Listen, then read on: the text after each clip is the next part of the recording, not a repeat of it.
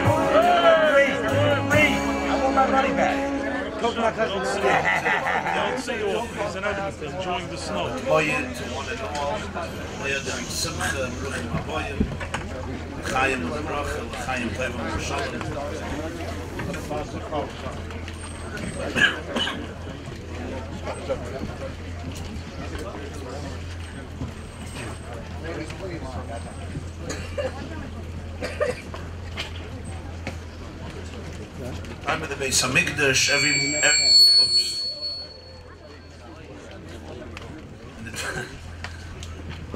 In the- time of the Beis Hamikdash, every morning of Sukkot, it was a special mitzvah avodah known as Nisuch HaMayim.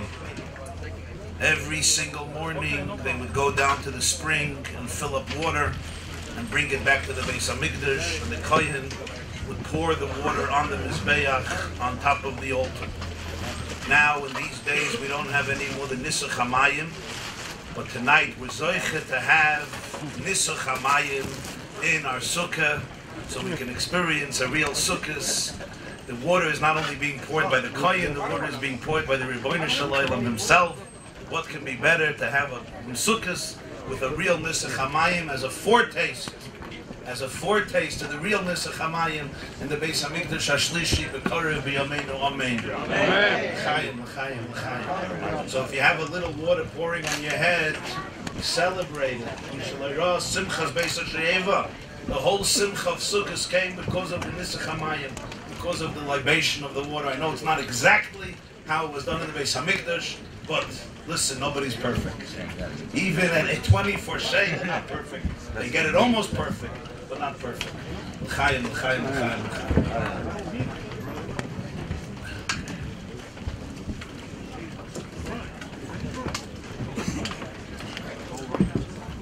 So the Chatchila, the Chatchila, when they heard the, the, the forecast, this Sukkot, as you know, the global warming came to Monsey the Sukkot. I don't know if it came to other parts of the world, but certainly the global warming of Sukkot came to Monsey. So when some people heard the weather for this evening, they decided to set up in the tent instead of the sukkah. But uh, the last moment we felt that this event should be as much as possible in the sukkah. Why? Besides it being sukkahs, but there's another reason. The Gemara in Masechta Sukkah, Avav, brings the famous argument between Reb Shimon and the Chachamim, how many walls a sukkah needs. Shimon holds you need three walls, and the fourth one even a tefach, even a handbreadth, but three complete walls. The sages, the Chachamim hold no shtayim kil chason, v'hashlish is afilu tefach. You need two complete walls, and the third one could be even a handbreadth. Two complete walls, the third one even a handbreadth. And that's the halacha. The halacha is not like Reb Shimon, it's like the Chachamim, Shtayim, Kil Chason, Vashlishis, Afilu Tefach. Okay, not getting into the details of exactly how you build that third wall, which is one Tefach, but there's a few details, requirements, but generally two complete walls and a little bit of a third wall, and you're good, you're good to go. Of course, it's a hidur to build a sukkah of three walls, many a mahadid to build a complete sukkah of four walls. Chida writes, Rabbeinu Chaim Yosef David Azulai writes that the word sukkah consists of three letters: samach, chaf, hey, and he says it symbolizes three types of sukkahs, three types of structures. Samach, what's samach? Samach is a sukkah of four walls. That's what a samach is, a full circle. Chaf is a sukkah of three walls. It has a line on top, a horizontal line, a vertical line, another horizontal line. Three walls, and one wall is open. And hay represents the minimum requirement of a sukkah. What's a hay? A hay you have two walls. You have the roof, the horizontal roof, and then you have the vertical leg coming out of the roof, and then you have ashlishis afilu tefach. Then you have the little line on the left side of the hay with space on the other side, which represents the third wall. So sukkah is basically the three halachic options of how to build a sukkah. That's Pashat and halacha. Comes the Arizal. And the Arizal creates Chayiv. He says something very special about the deeper spiritual meaning behind this sukkah structure. He says there's a pasuk in Shir Hashirim. Pasuk says, "Smoiloi tachas l'roishi v'yeminoi techapkeni." The bride sings about the groom. His left arm is under my head, and his right arm embraces me. So the says this is a metaphor for two times of the year. Rosh Hashanah and Yom Kippur, that's the time of Yira. It's the time of awe. It's the time when the left arm is more pronounced. The left arm represents Vura, strength, discipline, judgment. Sukkot is the time of Yeminoi Techapkeni. The right arm embraces me. Sukkot is Mansim Chasenu. It's a time of joy. It's a time of love. It's a time of celebration. It's a time of Gilui Ha'ava, of a relation of affection. The right arm represents, as it says in Zohar, Chesed, Droya Yamin, and Kura Droya. Love is represented by the right arm, and discipline is represented by the left arm. That's Rosh Hashanah Yom Kippur. Midas Smoil, the left arm. And then Sukkot Mansim Chasenu. Batitan Lanu Hashem Elokeinu. Ba'ava Moyadim L'Simcha. Chagim Uzmanim L'Sosin, especially this Yom the only one called Mansim Chasenu. The time of joy, this is Yeminoi Techapkeinu. And Arizal says, where do you see this? You see this in the Sukkah. Because an arm, including a right arm, has three prakim, has three sections. The first section of the arm is from the shoulder till the elbow. That's one joint. The second section, Perik Sheni, is from the elbow till the wrist. And then you have the hand itself. The hand itself till the edge of the fingers.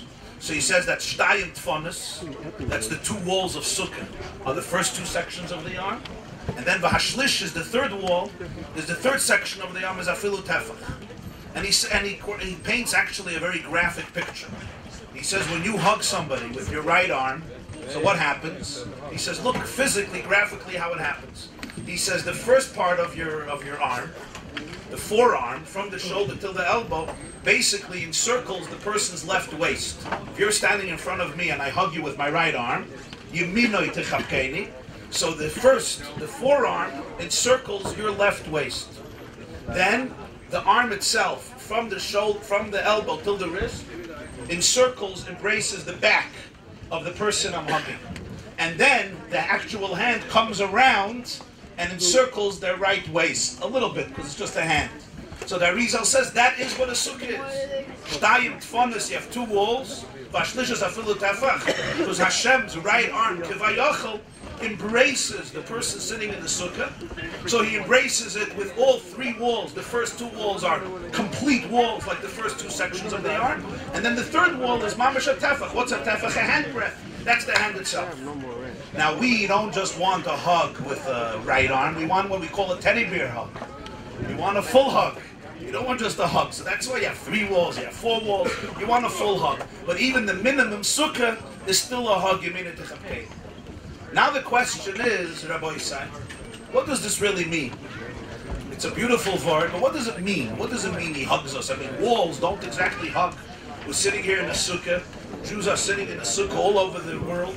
What does it mean that the walls of the sukkah represent the chapkeni? Arizal says it kabbalistically, which is always symbolic. It speaks in symbols and metaphors and riddles, but it has to be deciphered. It has to be explained. What is the meaning of this? So in Sifrei Chassidus, there's an extraordinarily moving explanation to decipher and explore what is the meaning of the Arizal's words, that the walls represent Yemin Another, another impact of Mr. Hamayim. Else we say that? Okay. So here it here it is briefly. It works like this. There are different there are different ways in which you can express love to somebody that you cherish. When you want to show somebody that you love them, how do you do it? The first basic way is through words. You turn to somebody you love and you tell them, divrei ava, divrei chiba. You express words of affection. You say, I love you, I appreciate you, I cherish you. That's the first mechanism of communicating love. But it's not the only one.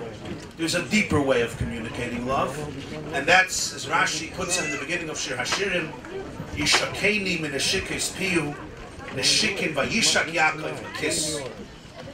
You take your child, you say, I love you, but it's not enough. Mwah! You give a kiss. Why do you have to kiss me? You already said you love me. What's the kiss? The pshat in the kiss is the love is too deep to express in words. Words are too poor to capture the full intensity of the emotion, so I have to kiss you. Mwah! Now you express love in a deeper way. This is the kiss, the shik. But there's yet a deeper way in which you express love, and that's the eyes, a gaze. A necha yoinim, as it says in Shahashirim, the Medrash says, lovebirds, doves, can gaze at each other for hours on end, just looking at somebody. The profound gaze sometimes captures an intense emotion that even words and even a kiss cannot express. It's just gazing at somebody in their eyes. Two people, two lovers look at each other, and the look, the gazing at each other, contains within it so much depth, so much profound emotion. Because eyes express depth. Try looking at somebody in the eyes, and you'll see after a few seconds, either they'll look away or they'll start a conversation. Because when you look somebody in the eyes, it's awkward. Unless you're really comfortable with each other, it's not an easy thing to do. If you don't believe me, you could try it out. Try it out in an elevator. Start staring at somebody in the eyes, they might call the police.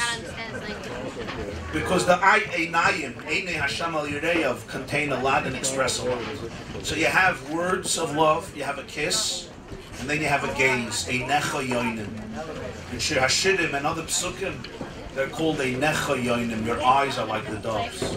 But then there's a fourth type of affection, and that is a chibuk, a hug, an embrace. You hug somebody. But the last form is different than the other three. The first three are always directed towards the person's face. I talk to you, I look at you. I kiss you, not usually in the back. Kiss somebody in the face. And where do you and where do you look at somebody? You look them in the eyes. But where do you hug? Chibuk. Chibuk says the Balatanya Lakudatayra Sukkis. When you hug somebody, where do you hug them? You hug them on their back. When I hug you, I don't hug you in your cheeks usually. You hug a person in the back. All the other forms of love are directed to the face. A hug is to the back. There's one more difference. The other forms of love, we remain separate. I look at you, I speak to you, I even kiss you.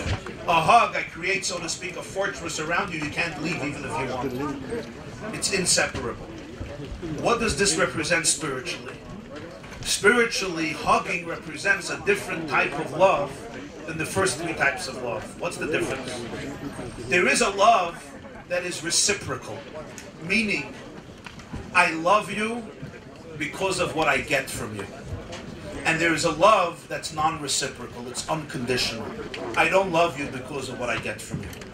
There's a love in the world, I love you, I appreciate you, I cherish you because you enrich my life.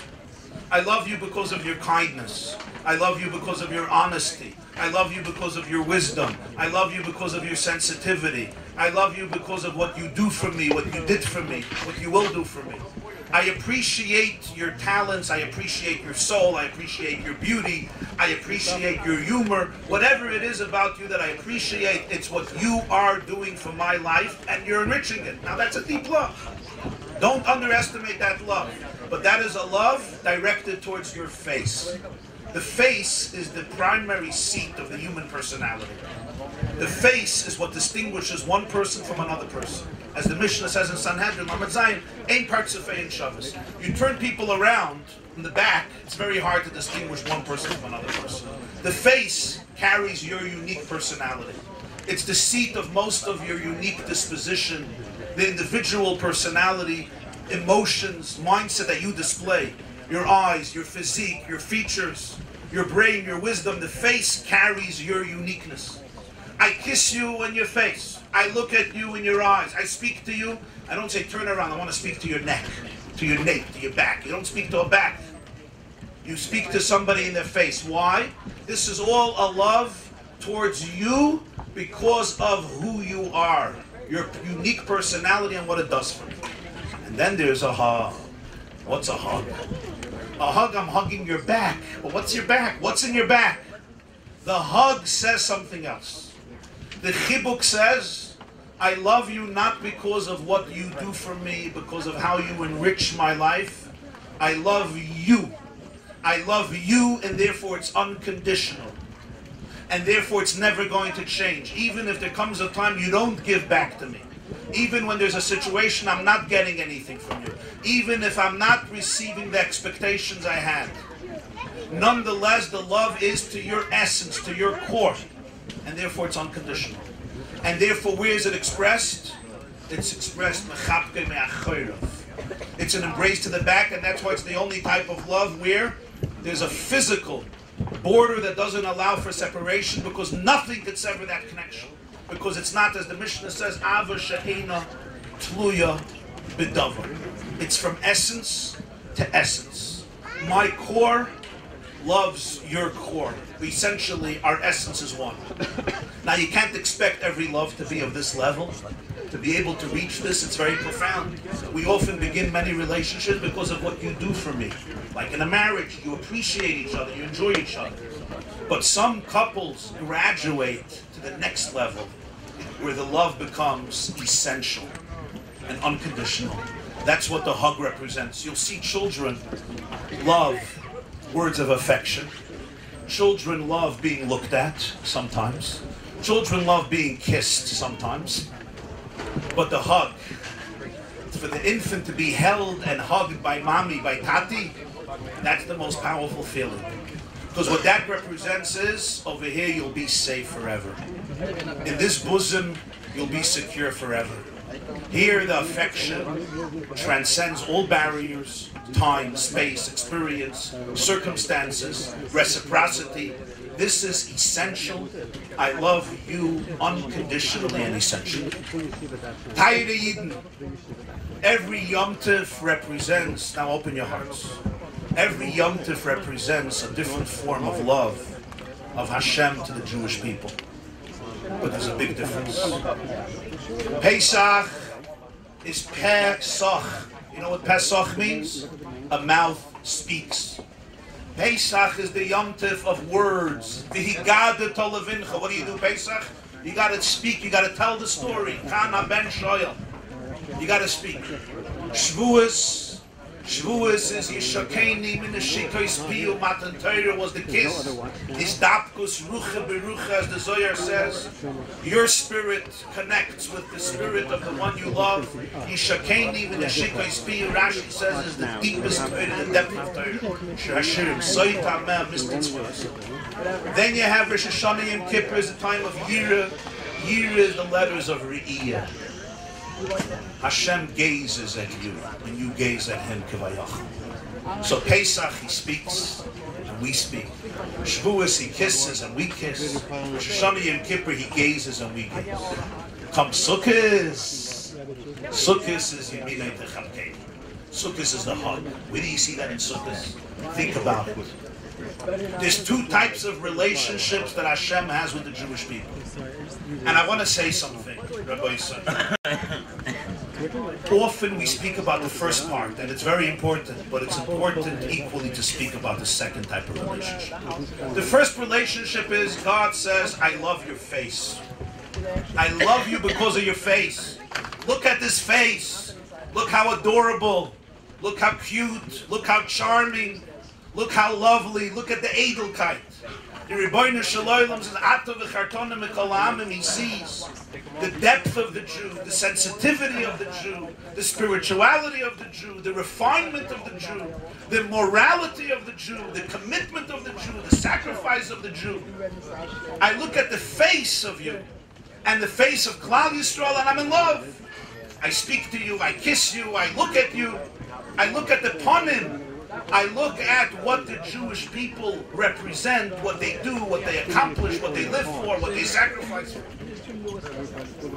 And therefore, the relationship is based on our own face, on our commitment, on our behavior, and our, on our elevation. The more elevated Jew, the more spiritual Jew, the more you can sense the love.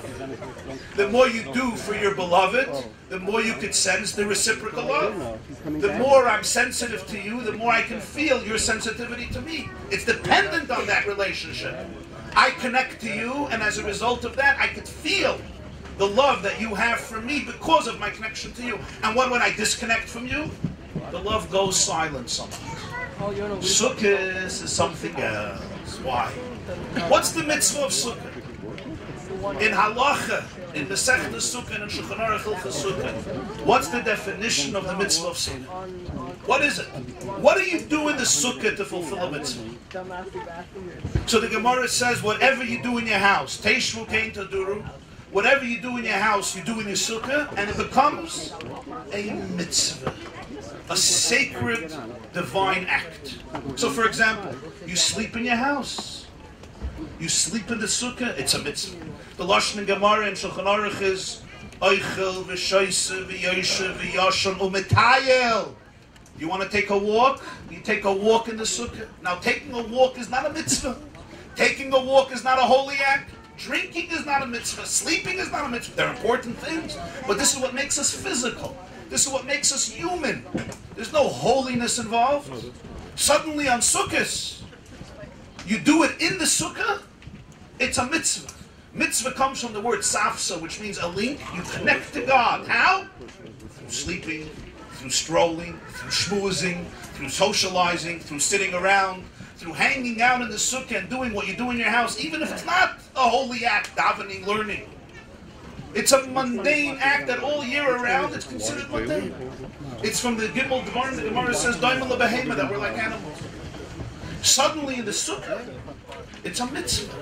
Why? It's not what you do, it's where you do it. Where you're doing it, you're doing it in the Ribbono Shel Olam's embrace. He's hugging you. And a hug means I hug your back, not your face. I love you the way you are. I love you. I don't love you because of what you give me. I don't love you because you're spiritual. I don't love you because you're heavenly. I don't love you because your antennas pick up transcendence. I don't love you because of your mysterious nefesh. I don't love you because of your ruchnius. That too. I just love you. I'm crazy about you. I'm crazy about you in the totality of your existence. So suddenly you're going to take a nap. You're taking a walk. You're reading. Uh, you're reading a paper. It's in the sukkah. You connected to me. It became a divine, holy, transcendental, spiritual act. The Shekhinah is with you. That's a different type of love. That's the love of Yeminai Techapkeni, the Chibuk. The Chibuk goes it goes to the back. And that's why. And that's why. You know, my uh, your child has a little boo-boo. And all you do is you say, oh, it's nothing, here's a band-aid. Okay, you help them practically, but you forfeited the most important opportunity. Before you put on the band-aid and you give a solution, give a hug. The hug says, boo-boo, no boo-boo, we are together forever. That's a unique experience. So I ask you now, when was the last time somebody hugged you? When was the last time somebody hugged you for real? Now let me tell you what it means to hug somebody for real. Most people when they hug, Watch people hug each other. What do they do? They hug you and they right away pat you on your back, right? Ba, ba, ba, ba. That's not a hug. Basically what they're saying is, you're a good guy. That's weiter. That's weiter to the face. That's not a hug. A hug has to be vulnerable. You don't hug and start patting on the back. That's not vulnerable. That's another, you know, macho thing to do. A hug is you gotta let the two people melt away in each other's emotions. So now I ask you, when was the last time you got a hug? So if you need a hug this year, you have to spend time in the sukkah. That's why I wanted it to be in the sukkah. We could have done it in the tent, and everything would have been perfect, and the video man wouldn't have to have plastics, and, and Ben Shimon wouldn't have to have plastics and make tarps so that his keyboard shouldn't get ruined tonight. But the hug, the chapkeni is in a sukkah. And that's why you'll see, go into a sukkah, Isru Chag Sukkahs. Go into the sukkah next, uh, Simchas Torah next Wednesday. Make sure it's not a Baltoisif. You'll figure it out. Okay, for those, make sure it's not a Baltoisif. It'll be the same weather, hopefully. I don't mean like tonight, I mean like today. It'll be a beautiful weather. You'll go there. It'll be nice, but you won't you won't have the feeling a Jew has sukkahs in the sukkah. Nobody knows what is it. You come into the sukkah, middle of a chalamoyed, four o'clock in the afternoon, you sit down to have a cup of tea, to read something, to look at something. You're talking on the telephone about something mundane. In the sukkah, there's something special. A day after sukkahs, it's gone. What? What's gone? Nobody's hugging you. The walls are walls, but there's no hug. On sukkahs, yeminai techapkeni. It's a hug. You're being embraced every moment in your sukkah by Hashem Himself. And trust me, lots of us need a real hug especially from God. Especially from God. That's the power, that's the depth of the sukkah. That a Jew ought to know that there's a level of a relationship that's unconditional. And therefore it embraces your back as much as your face. Your physical self as much as your spiritual self. Your regular self, your mundane self as much as your higher self. Every Yom Tov is meant to serve as inspiration for the whole year. The inspiration that a Jew takes from Sukkot is that in the regular day, in the mundane moments, in the downers, in the stressful day-to-day encounters and experience people have in life, there's always a relationship. He's always embracing you, he's always hugging you. I may fail, my face may become sour, my face may not reciprocate, I may have a lower moment, but the hug, it never affects. And on Sukkot, it's revealed in the very mitzvah of sukkah. There's no mitzvah like that. As they used to say, in Simcha Bunim of Pshischa, the only, the einzige mitzvah was Hayid geht rein with the schmutzige Stiefel. And here you can appreciate it. Because outside here, Baruch Hashem, a lot of mud. This place is always under construction because it's a preparation for the Beis Hamikdash Hashlishi. So this place is always under construction. I don't want to say Zeichel Lechurban, I want to say Zeichel Hamikdash. So that always reminds Jews that you don't never settle in America. So America is a very nice place, but it's never the permanent place. So how Jews in Monsey are comfortable, Baruch Hashem, big houses, not like Brooklyn, everybody's running away. In Monsey you can get comfortable. So the question is, how do you remind people that we're still in Golis in Monsey? The answer is, you're in a shul and one day it disappears. And the next day a new one is created. And then the next day that one also disappears. And then the next day a tent is created. And the next day that also disappears. So between everything, Jews are reminded that with everything, we're on a, we're on a journey. We're on a journey. We're on a journey. Jewish people are on a journey from Avram Avinu to Mashiach Tzedkei. In that process, you could sometimes come in with the mud. A sukkah, you come in with the boots, with the mud. I said, wait, wait, wait, no. Some people, you come into their house, the balabasta says, shoes off. In this house, you take off the shoes, but there's no halacha in Shulchan Aruch. You come into the sukkah, you take off your shoes. You come in with the boots, you come in with the shoes. I there's mud, a poiris, shukas, shalom, aleinu, v'kalam, yistov, Yerushalayim. The Vilna Gaon says the same is true with mitzvahs Yishuv Eretz Yisrael. Like the Shittas Ramban, that Yishuv Eretz Yisrael is a mitzvah, you go into Eretz Yisrael with your whole body. That's what the Vilna Gaon writes. The same is Sukkah. HaPoiris Sukkah Shalom Aleinu, V'Atalam Yisrael V'Al Yerushalayim. He compares the two. The two mitzvahs that you come in with your entire body, with your entire self, with your back, because I love you. And you means the totality of you in your raw, naked essence, unconditionally. So I want to bless all of us and all of you, but Klal Yisrael, that this sukkah, we should be able to internalize and experience the hug, the embrace that Hashem embraces every single one of us, especially those who desperately yearn throughout their life for somebody to embrace them, and they never felt that anybody did. You should be able to look around at the walls of the sukkah and feel the Yamina Techabkeni, and it should carry you through throughout all the days of the year. L'chaim, l'chaim. Where's the Mashtak? A mikveh, he asks a good question. What about a mikveh? A mikveh, you can't go in with your dirty boots. mikveh, you got to take off the boots. a mikveh, you got to go in, in the birthday costume, but not in the boots.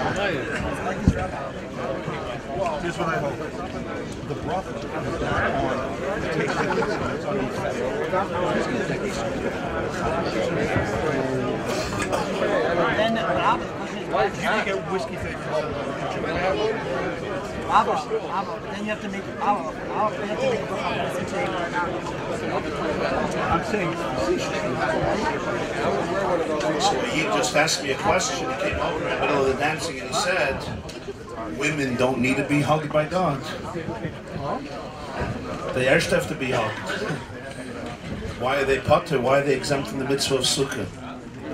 The shot is."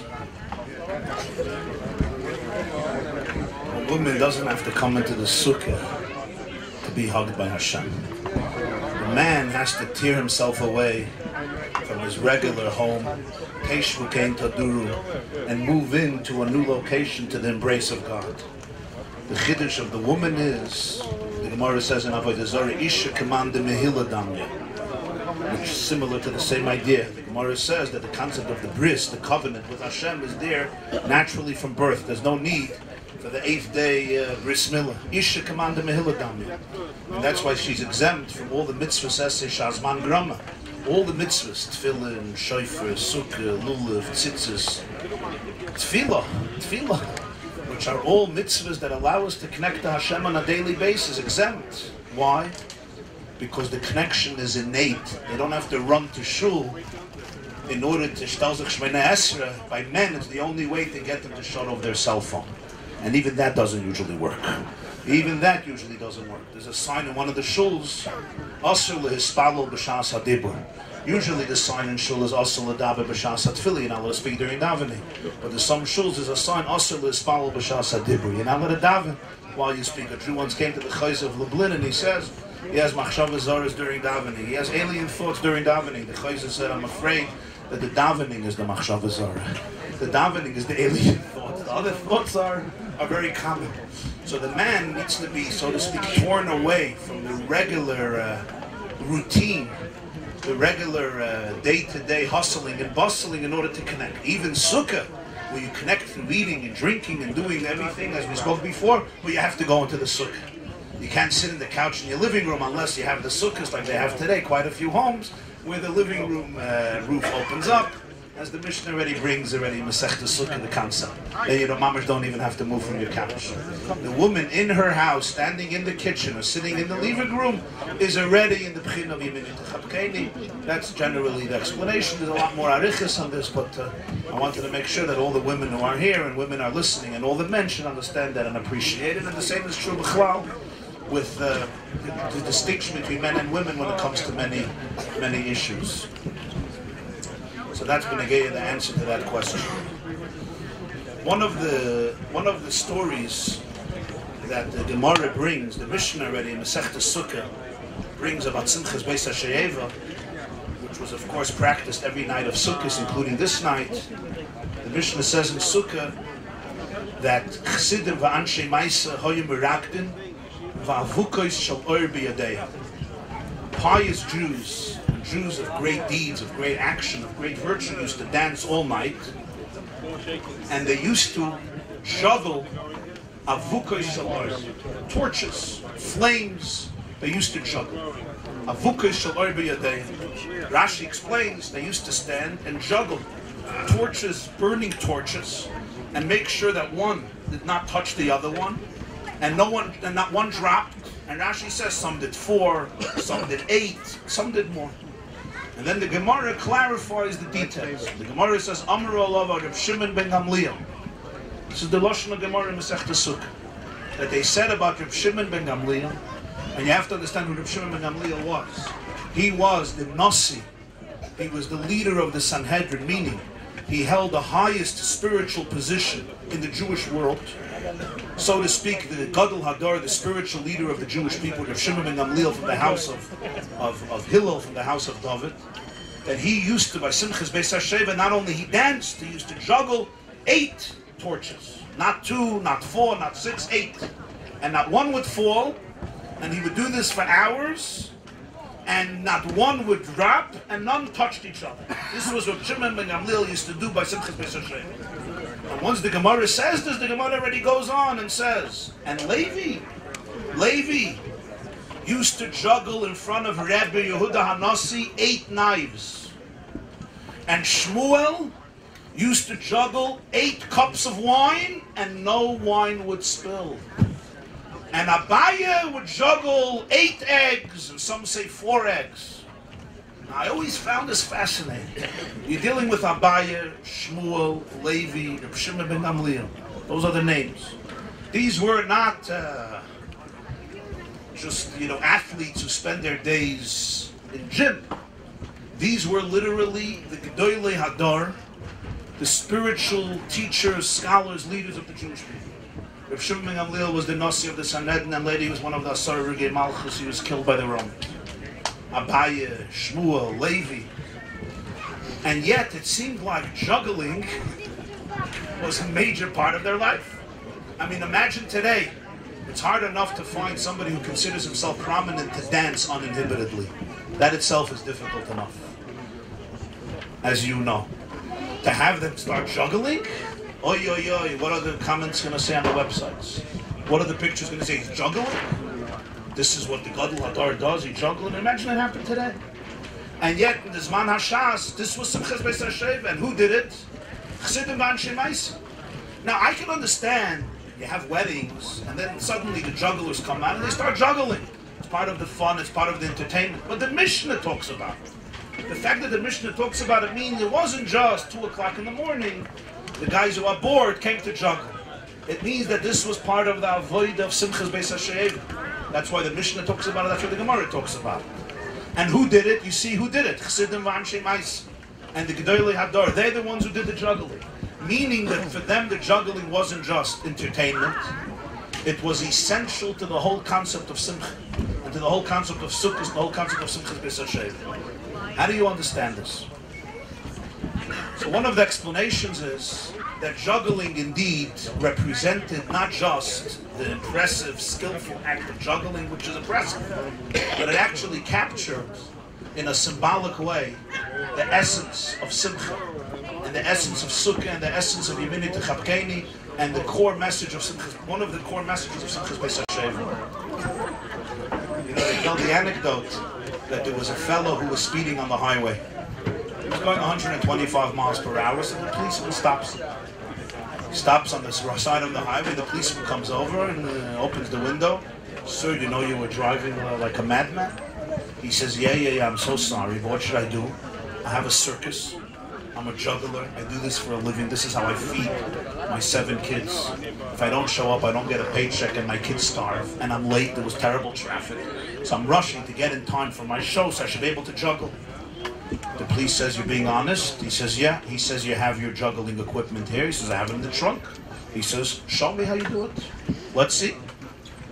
So the guy goes out. He opens the trunk and he's standing on the highway and he's juggling. He's juggling. A second car pulls up behind. This is a guy who's a little tipsy. He's coming from Psasim comes He's a little tipsy. The guy in the back gets out of the car, goes into the police car, opens the door, and sits down in the police car policeman says, what do you think you're doing? He says, if this is the test, there's no way I'm going to pass it. Might as just put me in jail right now. It's fine. Let's just finish this off. There's no need to waste anybody's, anybody's time. But the truth is, the truth is that in real life, everybody is a juggler. If you don't learn how to juggle, you don't learn, you can't master the art of living from the Jewish perspective. What do they say? Somebody once said, the problem in my life is I have too many balls up in the air. Today especially, everybody has balls up in the air. You're investing in this and you're investing in this. And you have to juggle. Who's not juggling? You got to juggle between your marriage, your work, your spiritual life, your physical life, yourself, your children, your parents, your siblings, your family, your friends, your community, God, the Jewish people. You're, who's not juggling? People are juggling all the time with the pressures and the stress. You have a mortgage and you have tuition and you have shidduchim and you have nachas and there's medical issues and financial issues, psychological issues, emotional issues. It's a feltnish shalom bayis issues, shviger issue. It's a feltnish issues. Spiritual, emotional, psycho. Who's not juggling? Who? I don't know. The only people I know are not juggling are the people I don't know. But uh, everybody else seems, everybody that I know seems to be juggling and we have lots of balls up in the air. Lots of balls up in the air. And a person needs to juggle. But the chiddush of Simchas Beis Hashoavah is they weren't just juggling. They were juggling avukas shel oil. They were juggling torches of fire. The Pasuk says in Mishlei, Neir Hashem Nishmas Odem. The soul of a person is called a Neir. It's a flame. Just like the flame always rises, always kisses the air, always licks the air, always sways, is always aspiring to go higher. Every flame rises, Shall shalhevis oila, as Rashi says in Balois. This nishmas adam, that's the Neir Hashem. It's a Neir that gravitates, it yearns. We're not just juggling. We're juggling avukas shulber.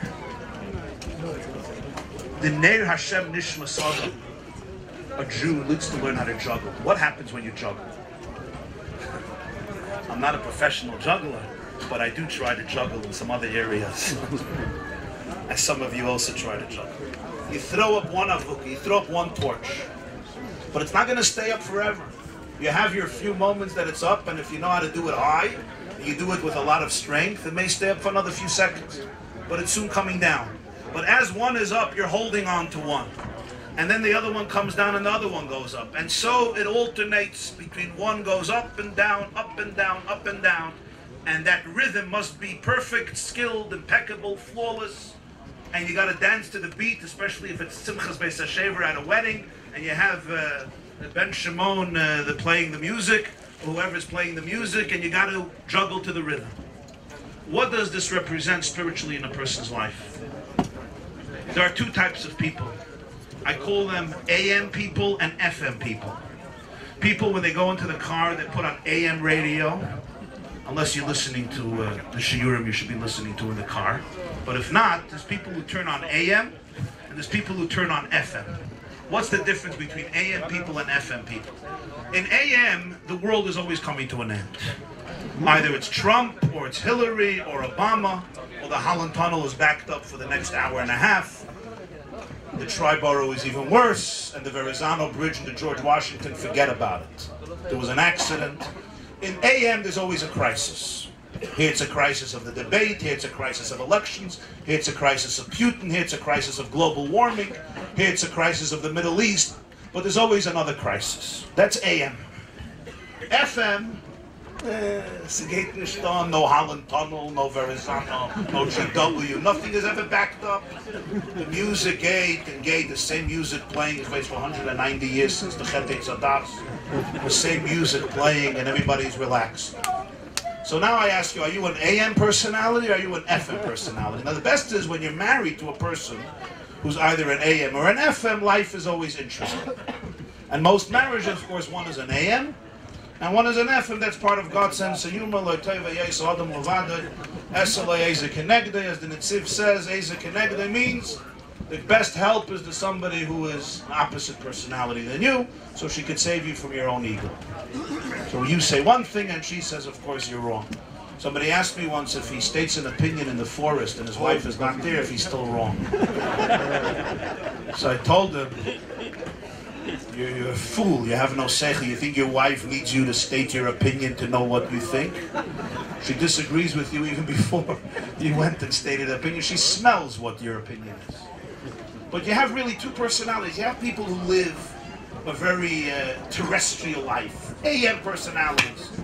They're always changing. Top of the hour news. You give me 22 minutes, and I'll give you news. And I'm going to make sure that at the end of that news, you're anxious, you're nervous, because America's coming to an end. Whoever wins, this one, that one, there's no future. You're moving to Canada, as we know. anxious because you're present, you're in the world, and the world is on a sugar nava. And then there's FM people, aloof, detached, sublime. They create their own cocoon and they live there. What's the way to live? Should you be an AM personality or an FM personality? AM personalities look at FM personalities and they'll always say, as your wife tells you, you're out for lunch. You're a nice kid, but you're naive. You're just detached from reality. And the FM personality looks at the AM personality and says, Nebuch, you take the world so seriously. so I'll love Olam. So I'll love Olam. Relax. Come into my cocoon. Come into my sukkah. Come into my Yeminei Techapkeni. What's the right way? What's the right path? And the truth is, this is what the great giants of Judaism taught us. The art of a Jew is that you have to juggle. There's always a part, a flame that has to be up. But there's another flame, another torch that has to be down. When you juggle, there's always an avuka that stays up. In other words, a part of you always should be connected to the higher place. A part of you that's aloof, that doesn't get enmeshed, entangled, stressed out, and overwhelmed by the text message, by the email, by the new bill that came. A part of you that remains in a sacred heavenly space, in the Ribbono Shel Olam's embrace. The Gemara says in, uh, in Shabbos, Taflamet, Al Pi Hashem Yisu, Al Pi Hashem Yachanu Lahu Dami. The Jewish people, they were traveling in the desert, Al Pi Hashem, based on God's GPS, God's positioning system. So Kaman de Kviya they were always in the same place. You could travel 40 years, but you're always in the same place. Because you're being hugged, you're embraced. Chaim Shmulevitz's famous mashal, you were there at the Musa Shmuels when he said it. So he was there. The Musa Shmuels of Chaim Shmulevitz said it. Shemesh Shmuel also said it a generation earlier. But Chaim Shmulevitz gives the mashal. You have a, a woman travels the world, travels to five continents, 20 countries, and every place there's passport controls and, and customs and security and lines and taxis and stress. She goes from, from Sydney to Tel Aviv to Moscow to Miami to Los Angeles to Honolulu to, to Johannesburg to Caracas. From one side of the world to the other side of the world, and it's as stressful as it gets. But the main thing is in your passport, you have all the signatures that you were here, and then you have pictures to prove. But then, if she happens to be holding an infant, a baby, and you can ask the baby, Where have you been in all these weeks and all these months? The baby will say, Oh, I was in my mother's arms, in the same place. Ah, your mother went from one end of the world to the other end of the world? That's my mother's problem, not my problem. I was in my mother's arms. Al pi Hashem Yisro, al pi Hashem. They 40 years they traveled, but they were in the same place. They were in the same place. They felt that they were in the embrace of Hashem. They were in a sukkah. The Gemara in Masechta Sukkah Daf Yud Aleph has an argument between Rebbe Lezer and Rebbe Akiva. What's the Sukkah Shafti? Rebbe Lezer says Anani Yakovit. And Rebbe Akiva says Sukkah Mamish, huts. So the Shulchan Aruch paskens like Rebbe Lezer that it was Anani Yakovit. But whatever it was, keep a Sukkah Shafti, Kimandi Kviyul, they were in one place. So Lahavdil, the FM personality, there's always a flame, a torch, the neshama, part of your neshama got to be up. In English, we call it, we say every day you have to have what they call downtime. Downtime means you shut the door, you shut off the phone, and you just connect to yourself, to your essence, to your identity. In Yiddishkeit, we don't call it downtime, we call it uptime. There's moments in the day when the world shuts down. A Jew is davening, a Jew is answering Amen Yeheshmei Rabbah, a Yid is saying Tillim, saying de Zimra, saying Krishma, davening Esra, learning a Blat Gemara, learning a Perek Mishnais, learning a Pasuk Chumash, whatever it is. It's times that the torch is up. It's up time. Aloof, sublime, transcendent, and disconnected from the enmeshment and entanglement with stress, the stressful world. But we weren't created to live in heaven. We were created to live in earth. We were created to change the world, to transform the landscape of our planet. The Rambam says in Hilchos Chanukah, the end of Hilchos Chanukah. Torah wasn't, like nitna Torah l'malachi it wasn't created for heavens. This is the Gemara in Shabbos Peiches. The Malachim wanted the Torah, and Moshe said, "Klum yetzahara yesh beinecha." You have issues with stealing. You have issues with loisachma. You have issues with murder. You have issues with theft. You have issues with adultery. Torah was given for humans down here to change the world and to refine humanity and to refine the earth. So if you stay up, your soul stays up. You're forfeiting your purpose. It's beautiful. But this is what's called, the Cheskel says, Hachayis Rotzoi V'shoiv. The angelic beings are always in a, in a um, dual state. Rotzoi, you're running up, Shoiv, you gotta come back. You go up, the neshama has to come back down.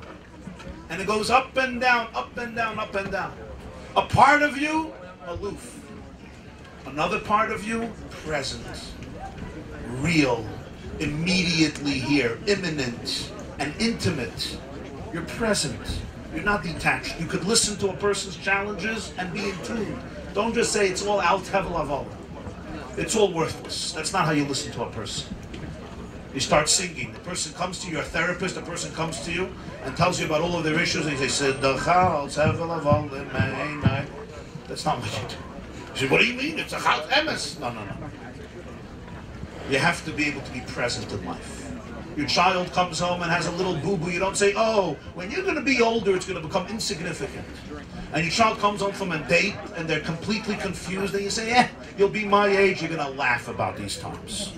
Thank you. When I'll be your age, I'll laugh. Somebody once said, what's the difference between a 20-year-old and a 40-year-old and a 60-year-old? A 20-year-old is self-conscious. Any 20-year-olds here? Are you self-conscious? Okay, very good. Wow, that's pretty good. This is.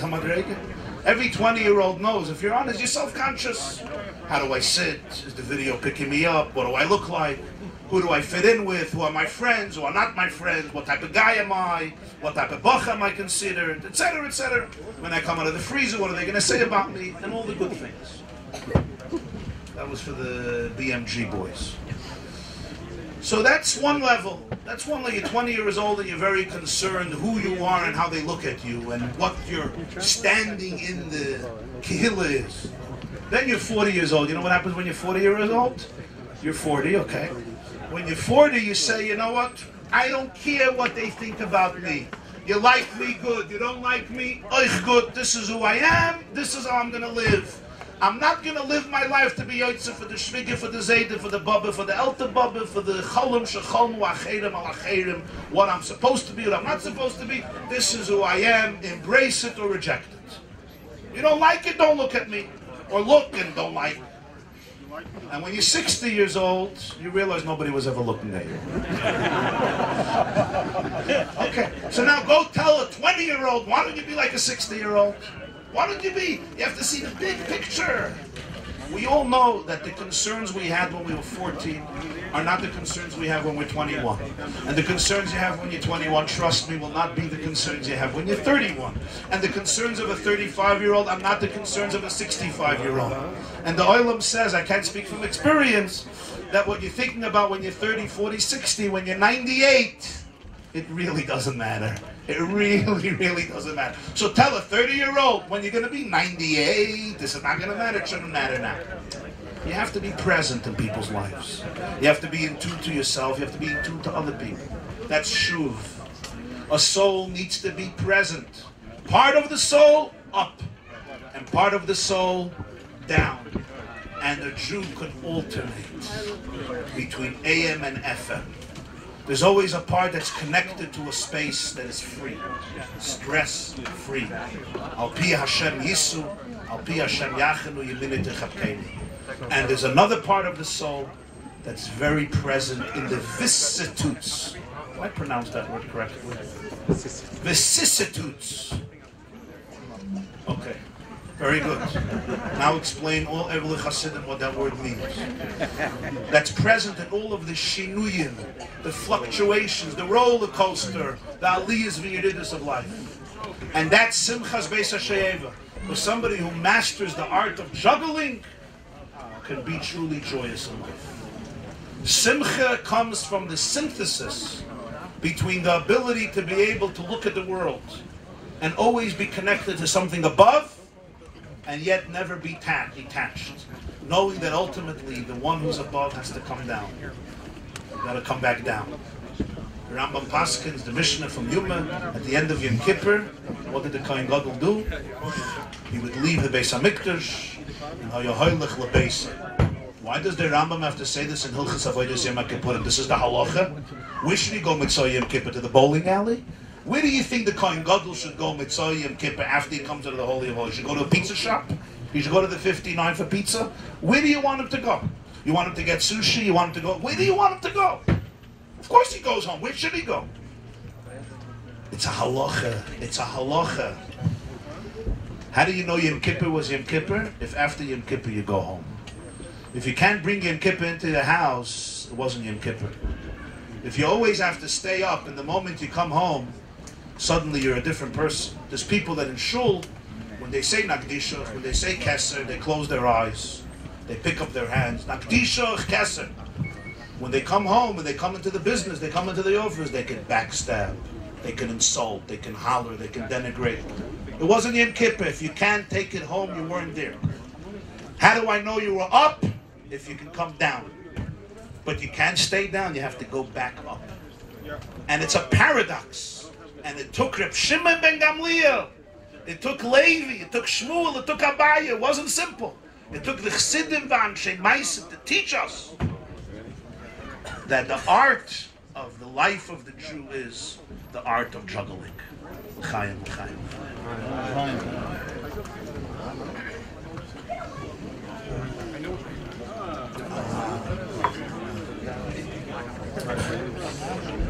Flex good. Flex good. Chloikas if Abaye juggled four, juggled eight, and Shimon ben Gamliel, Zoidik. Arba avokas, Shmoina avokas. It's, deep stuff. There's four layers to the neshama. Nefesh, Ruach, Neshama, Chayah. And then there's the fifth level, Yechida. Nefesh, Ruach, Neshama, Chayah.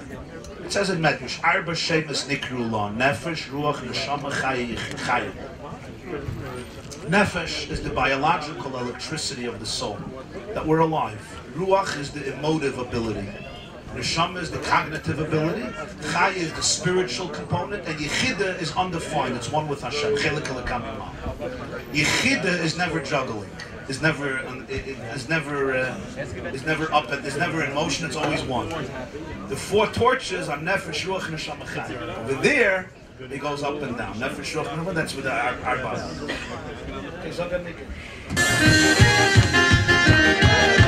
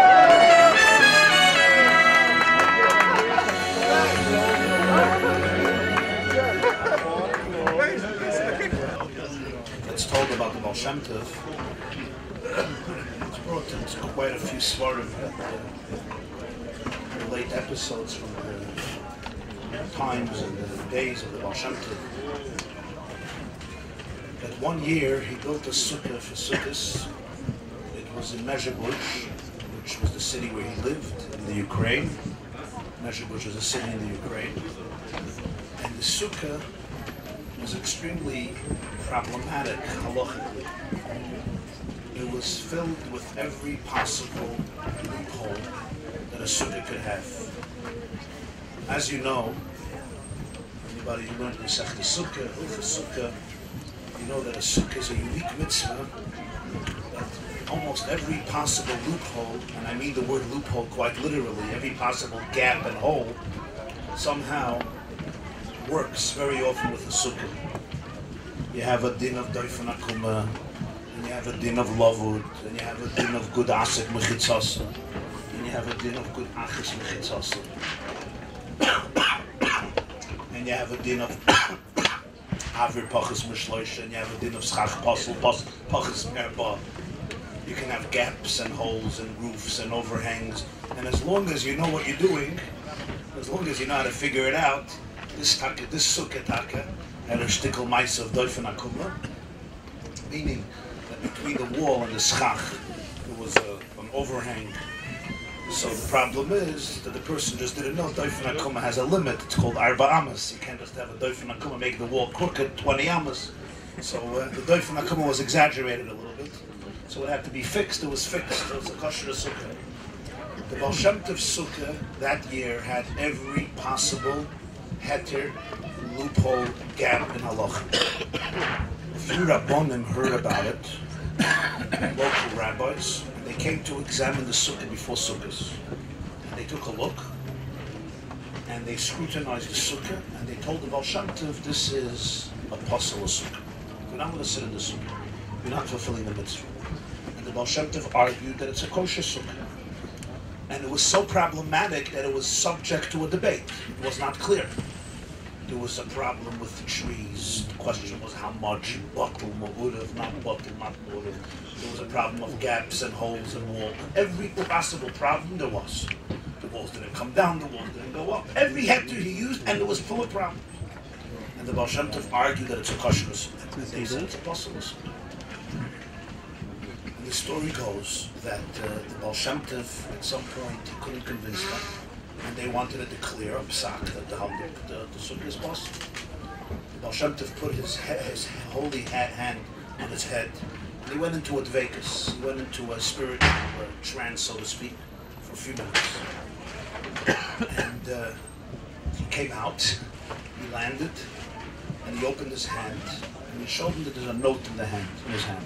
And they took out the note and they opened the note. The note read as follows: Sukkos, Rabbi Yisrael Baal Ksheira. The sukkah of the Baal Shem is kosher, signed Malach Metat, Malach Matat, Saraponim. Saraponim. One of the famous malachim is born in Gemara also, in Chagiga and other places. So there are many places. Malach Matat, Mem Tes, Sar Haponim, doesn't mean the interior minister. It means the ruler of Ponim, of Plinius, of faces. And Malach Matat signs that Sukkot is B'Sol Hashem B'Shem. But they said, okay, if you get these notes, if you get these notes from Malach Matat, Sheyeh Kach Zal Azay, they went.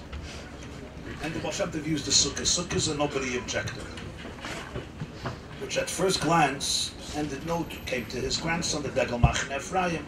Somebody writes, he saw, he saw the note by the Degel Machaneh Ephraim, Sukkahs B'Sol Hashem B'Shem. He used the note to heal people for two years. Nobody died in the city, and then finally he put it under the head of a sick person, and then the note disappeared, and he said from heaven, you know, Hayiloidim Lamos, people can't live forever. There was a whole story about how the note evolved. It went to the, to the Rishus, to the domain of his grandson, the author of Degel Machaneh Ephraim, who's Reb uh, Moshe Ephraim from Sudilkov, who's buried near his grandfather in Mezhebush in the oil of the Tov. But I want to ask a question. What's the shot of this story? Every Jew wants to do Hidur Mitzvah. You can do the mitzvah, you can do the mitzvah beautifully. Especially the mitzvah of Sukkah. Gemara says in Avodah it's a mitzvah kala, it's an easy mitzvah. Why, even if it's hamutter, even if it's kosher, why does the Baal Shem Tov have to create a sukkah that many Rabbonim, Talmidei Chachamim, they weren't uh, peasants from the street, should object to it?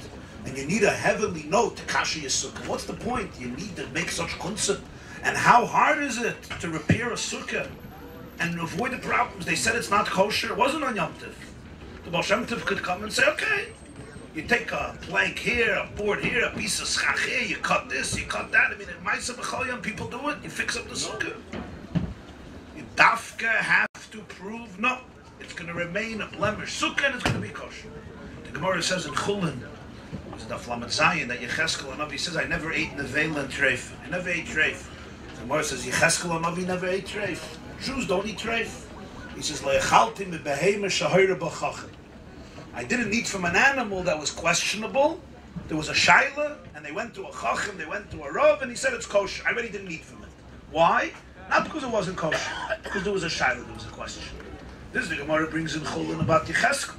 In other words, that he didn't want to get into questions, he didn't want to get into problems.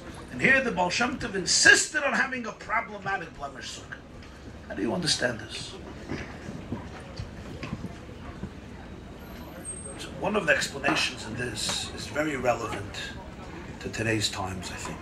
Extremely relevant. The Gemara says in Masechta Sukkot of Chavzayin, Chavzayin on the base, Sukkot Teish Shivas Yamim, Sukkot says without a vav. So it can be read Besukas. You should sit in one sukkah, not in plural, not many sukkahs, one sukkah. Kol Yisrael Re'uyim Leisha B'Sukkah theoretically, the entire Jewish nation could sit in one sukkah. All you need is one sukkah. From this, the Gemara proves that sukkah she'ula is kosher. Unlike lulav, the first day it has to be lachem, it has to be yours, not borrowed. When it comes to a sukkah, I don't have to live in my sukkah. I could borrow your sukkah and I could stay in your sukkah and I fulfill the mitzvah even the first day. I by Sukkot also says Lachem? The answer is because it says Besukas Teishvu, Kol Yisrael Ruyim Lesha Besukachas. Rashi has his explanation in the Sugi, Tosfos has his explanation in the Sugi. It's a separate discussion. All Jews are worthy of sitting on one side. It's an interesting expression in the Gemara. Kol Yisrael Ruyim Besukachas. It doesn't only mean halachically we can all use the same sukkah. For that, the Gemara didn't have to use this poetic expression The whole Klal Yisrael is royal to sit in one sukkah. One could have said simple sukkah she'ulak shayna. Doesn't have to get so poetic. Chol Yisrael ru'uyim leisha b'sukkah. Gemara, of course, is intimating a deeper dimension, and that's why it's brought in many svarim, especially in Teres HaNister, Sifri Machshavah, Sifri Ashkafa, Sifri Musa, Sifri Chassidus, Sifri Kabbalah, that the sukkah is a type of reality that has the capacity to embrace all of Klal Yisrael. Kol Yisrael Ru'uyim Leisha B'Sukkahs. And if you come to a Jew and you say, you don't belong in the sukkah, you don't have a place in my sukkah, then it's not a sukkah. A sukkah is a space where every single Jew ought to feel embraced, ought to feel the Yemini Techapkeni Hug. That's the definition of a sukkah. Besukas, Kol Yisrael Leisha B'Sukkahs. The Baal Shem Tov could have built a perfect sukkah. Beautiful sukkah. You know, you come into some sukkahs, and say, ah, I'm a chaya. It's perfect. You have the air conditioner on one side, the heater on the other side, the noyi sukkah, all the decorations, every conceivable type of decoration. Bamboos, mahadra shiba mahadra, idis shiba idis, you picked up from a Japanese garden. And then uh, you have not only mats, you have real bamboos and schach and uh, outs. And the walls, not stone, it's mahogany wood, it's not stone. If not mahogany, at least cedar. And it's four walls, and the door is beautiful, and there's a window, and there's a second window, and there's an entrance, and there's an exit for, for, for to come in and to come out. Everything. And as the Ramah says, if you could be machmer and build a second sukkah just for you and your wife, is matoiv. So you have a perfect sukkah. That's what the Ramah, the Ramah says in Simon Tofri Shlamet Tes. If you could be machmer, build a private sukkah, so you could say have the mitzvah of being with some chesishta inside the mitzvah of sleeping in sukkah. My Matoiv, if not, you're oisik the mitzvah. But the mitzvah, as the Taz explains about sleeping in a sukkah. Okay, you have a perfect, perfect sukkah. And who walks in there? walks in there, a Jew who also feels perfect. And he sits down in the sukkah and he feels, ah, this is my, my place. But we all know that there are people who are not perfect.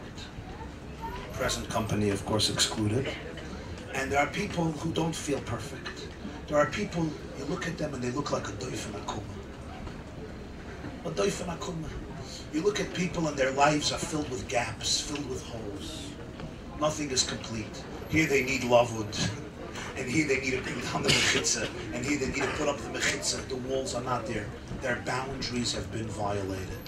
Walls represent boundaries in halacha.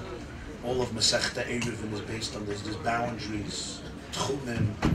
Here is my domain. Here is your domain. There are physical boundaries. There are emotional boundaries. Emotional boundaries are as important as physical boundaries, and they're dependent one on another. There are people whose boundaries have been violated. The walls did not come down all the way, or the walls did not go up all the way. They were not protected. These are lots of people, especially in today's generation when it has surfaced. It used to be that Jews loved Hollywood kitchens and wall-to-wall carpets. Every Balabata Shahid needed a Hollywood kitchen, and wall-to-wall carpet. Why did you need a wall-to-wall carpet? So I said once, because you need a lot of place to put things under the rug. So if you're not going to have a wall-to-wall carpet, you won't have enough place. Today the style is to get rid of the carpets. Balabastas don't like carpets, so things emerge from under the rug. Baal Shem Tov asked one question. Who's going to feel comfortable in my sukkah?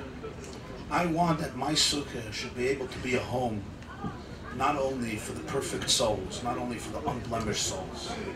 I want that every type of soul, even people who struggle, people who have ups and people who have downs, and people whose walls and boundaries have been violated, they, had, they need a gud asik and they need a gud achis. They need to create new walls and sometimes imaginary boundaries because they never had. People who have so many gaps and so many holes and so many voids and so many empty spaces.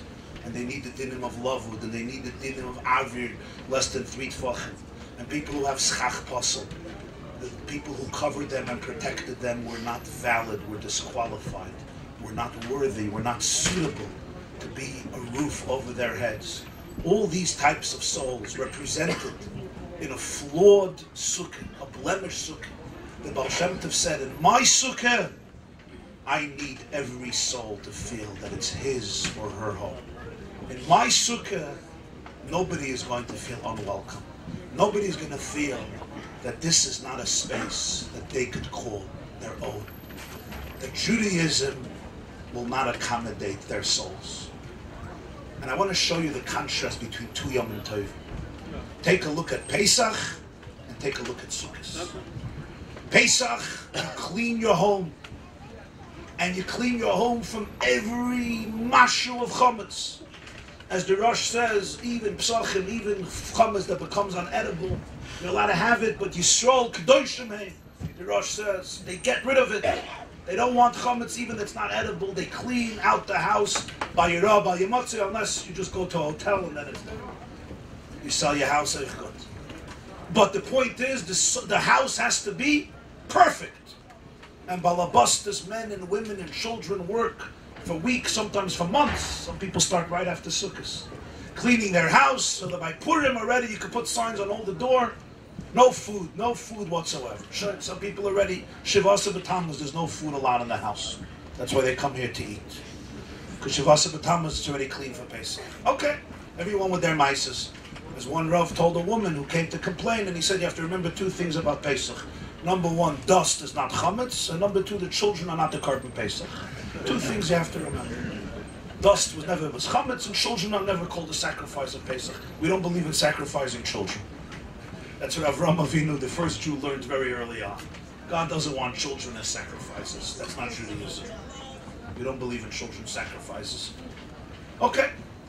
So Pesach, the house is perfect. And if there's a mashu, mashu, mashu, mashu, no way.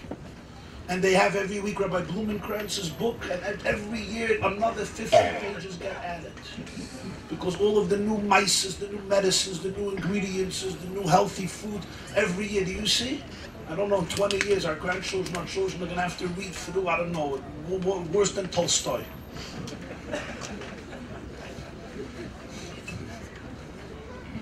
Since we're talking about embracing every Jew, so Woody Allen once said that he took a lesson in speed reading. So he read Tolstoy's War and Peace in 20 minutes. And he could say that it's about Russia. So, so you have you have these these guides, these guides for Pesach, these guides for Pesach, and it's infinite. It's infinite. And then you know that the cultural chumras that people have every community, right? Some of us grew up and some of us continue to squeeze the oranges. Erev Pesach, you stand and you squeeze the oranges to make orange juice. And you check the salt and you cook the sugar. And every community, kol chad v'chad from sure delay. And some people do a chumrah, but chumrah, b'tay chumrah, b'tay chumrah. They will eat almost nothing on Pesach. That's Pesach. That's the halachas of Pesach. Suddenly comes Sukkah. The opposite. Doifen akuma, good. Good asa, good. Good achas. You have a broken, blemished sukkah, it's all good. What happened? What happened with Pesach? The answer, Rabbi Yisai, is open your hearts. On Pesach, we invite Hashem into our homes. On Sukkot, Hashem invites us into His home. On Pesach, you invite Hashem into your house. You have to prepare the house. The king is coming, the Melech Malcham Lachim is coming, prepare the house. If there's a chash chametz, get rid of it. Sukkot, Hashem invites us into His house. Sukkot is His house. Sukkot is Techapkeni. We go out of our house. We go into His house. His house is made of psoilas, goyrin, v'yekev. The Gemara says, "Ba'aspecha migarncha miyekvecha." Psoilas, goyrin, v'yekev. You put a tomato, not good. You put an orange and a peach, it grows from the ground. No, it's edible. We want psoilas, goyrin, v'yekev. Psoilas, the residue, the straw, the bamboos, the planks of wood that are not edible, they're not usable, and therefore they're not makabel tumah. They're not a ma'achal, they're not eaten, not by a person, they're not eaten. They're not a ma'achal. That's what you put. That's my roof. That's my roof. That's my granite counter. That's my big. He invites you to his home. If he invites the Jewish people to his home, he says, My home has space for everybody. My home has space for broken souls. My home has space for souls that have gaps and holes and voids, people who feel crooked, and people who feel that their stature has been compromised. These are doifen akuma, there's schach posel, there's avir. The wall doesn't go up fully, the wall doesn't go down fully, there's this issue, that issue.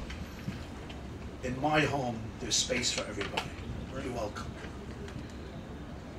And that's the, the, that's the definition, that's the message of Sukkot do we create a Yiddishkeit in which every soul feels that this is my space, this is my home? And it's not just the broken souls. Who's not? Who's not blemished? Who's not compromised? Who's not broken? But it's even deeper. The question is on every person.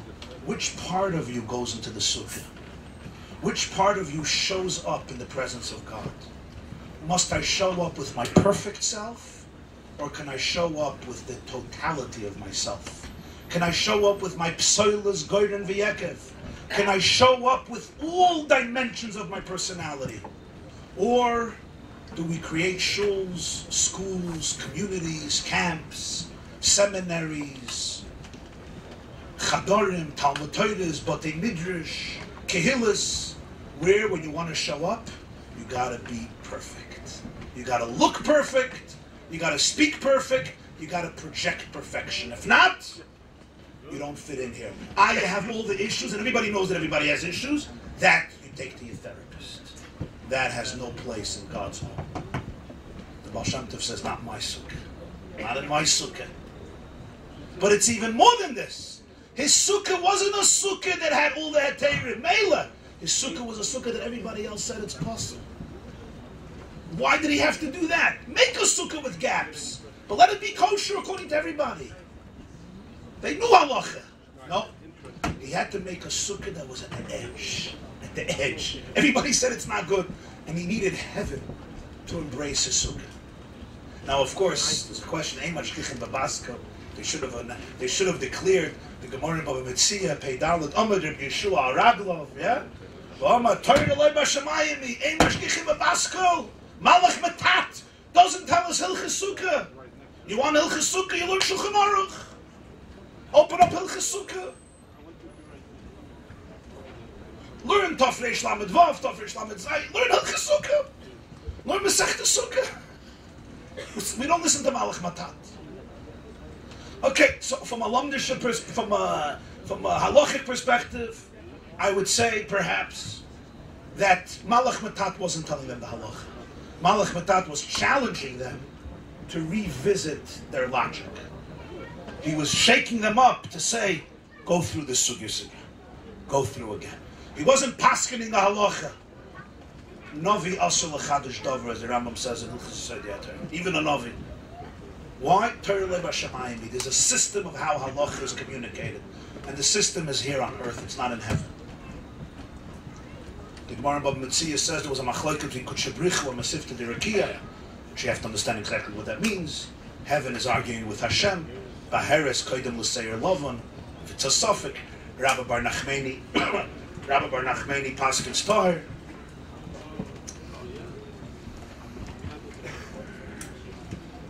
And the Rambam Paskens Kivayachal in a way that seems like not like not like the the psak of heaven.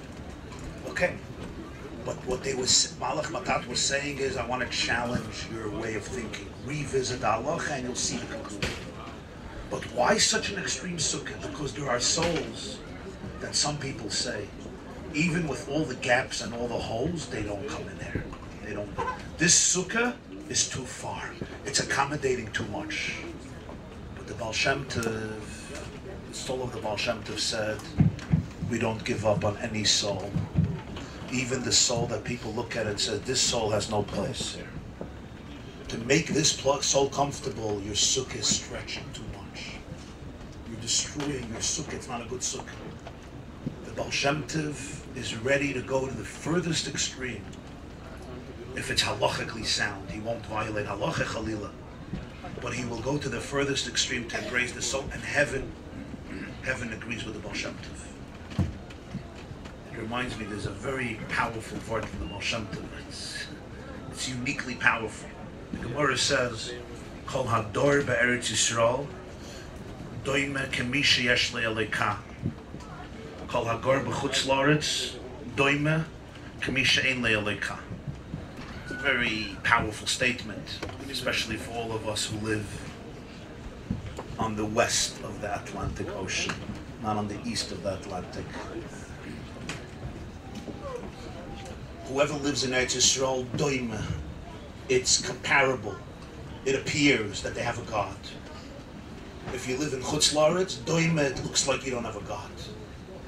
That's the Gemara. It needs Hezbollah and Mefarshim deal with this, struggle with this. What does it mean? What does it mean? But here's the Baal Shem Tov, who as always is often counterintuitive. So he says doima means it appears, but it's not the reality. It's not the reality. So everyone says, of course, there's a Jew in Chutz Laretz doesn't have a God. Of course he has a God. It's daima. It looks like, it appears. Baal Shem Tov says, no, no, no. It means much more than that. There's two types of Jews. Now listen to this. There's a Jew who lives in Eretz Yisrael. We're not talking only physically, geographically. We're talking spiritually. Eretz Yisrael is a land of Kedusha.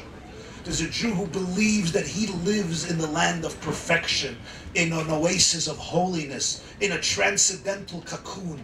He feels that he has reached spiritual perfection. In his mind, he has a God. The Baal Shem Tov says it's only in his mind. In his mind, he has a God. Really, if you feel you're spiritually perfect, you have no God. Because the definition of God is infinity. Then you have the Jew who feels like he lives in Chutz Laretz. He always feels that he's outside of holiness. He thinks he doesn't have a God. He thinks he doesn't have, but he has. Doime, he thinks he doesn't have. He has. That's why he has. Because he's open, he's curious, he's inquisitive, and he's humble. He's humble, he's open to growth. So it's easy to look at a person, they feel like I'm an Eretz Yisrael, I feel so accomplished, so perfect. I have a God. The Baal says, you think you have a God. What does that mean? It means I could be looking at two people. And one person thinks he has a God, one person thinks he doesn't. The Baal says that's exactly the point. He thinks he has and he does not. The other person thinks he does not, and he actually has. And when you know people on a deep level, you know how true this is. You know how authentic it is.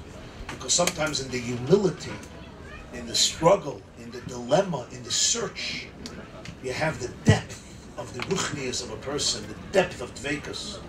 The moment you feel you have God, you have anything but Him. Leis machshavet tfisabe. It's elusive. It's mysterious. It's infinite. You're searching. You feel you're in chutz laretz. Doime k'mishein le'alaka. But it's only doime. In reality, yesh le'alaka. So here's my here's our question: Does our sukkah create space for our perfect dimensions, or also for our imperfect dimensions? Does your sukkah, does your home, does your community, does your heart, does your soul, does your shul, does your marriage, does your oasis welcome Jews who are imperfect? And do they welcome the part of you that's imperfect? Do you show up to Hashem with all of yourself, or you can't show up with all of yourself? Because part of yourself you had to bury before you came into the sukkah, before you came into shul, before you showed up. And if you have to bury part of yourself, then you're not showing up. Then it's doima, then it's doima kamishi yesh le'alekah. Then you dar Eretz Yisrael. You demand we only accept people who live in Eretz Yisrael symbolically. Oh, you gewalt. You're losing the real touch. You're losing the authentic touch of Judaism. Where did the Baal Shem Tov get this idea from? The Gemara in Sukkah. Kol Yisrael uyim leisha b'sukkah achas. Kol Yisrael means every Jew, not only the Jews that look like me and daven my nusach. So if my sukkah says one Jew is not roi, a sukkah is a snisht. It's a beautiful place. But the real status of what a sukkah is, if you feel not roi in this place, Tov says not. This is not a real sukkah. The real sukkah is a space where everyone feels comfortable, where everybody feels that they're being hugged, where everybody feels that they're being embraced. Bless you and all of us that we should have the courage, the serenity, and the vision to be able to create such sukkahs, to be able to create such homes, to be able to create such shuls, to be able to create such schools. This is not about compromising truth, chas v'sholem, or halacha. This is about understanding the depth of the human journey. L'chaim, l'chaim, l'chaim.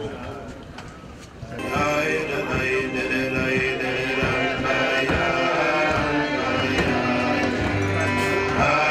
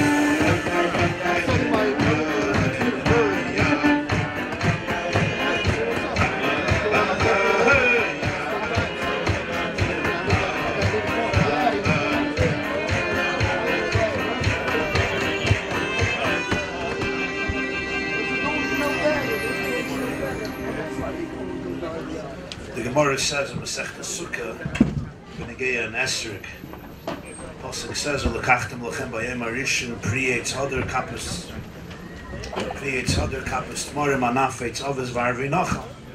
It doesn't say an Esrik. It says you should take a tree of a fruit that's beautiful.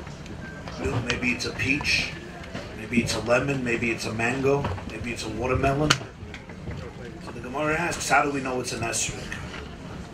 True that for generations Jews always knew it's an Esrik because when Moshe gave the Torah, he gave most of the oral interpretation together with Torah Shabbat The Rambam says in the Hagdama to the other HaChazaka Torah, the Firusha Litna. Nonetheless, it's all could be found in the text.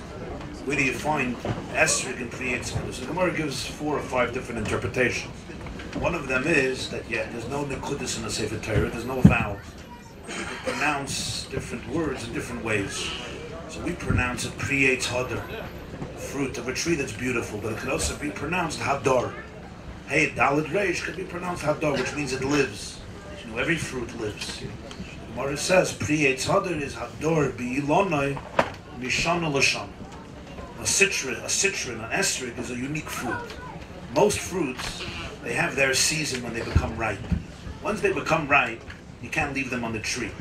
Either they fall off on their own, becomes too heavy, just falls off the tree, or it decomposes, it starts getting dry and rotten, fashimel, it becomes decadent.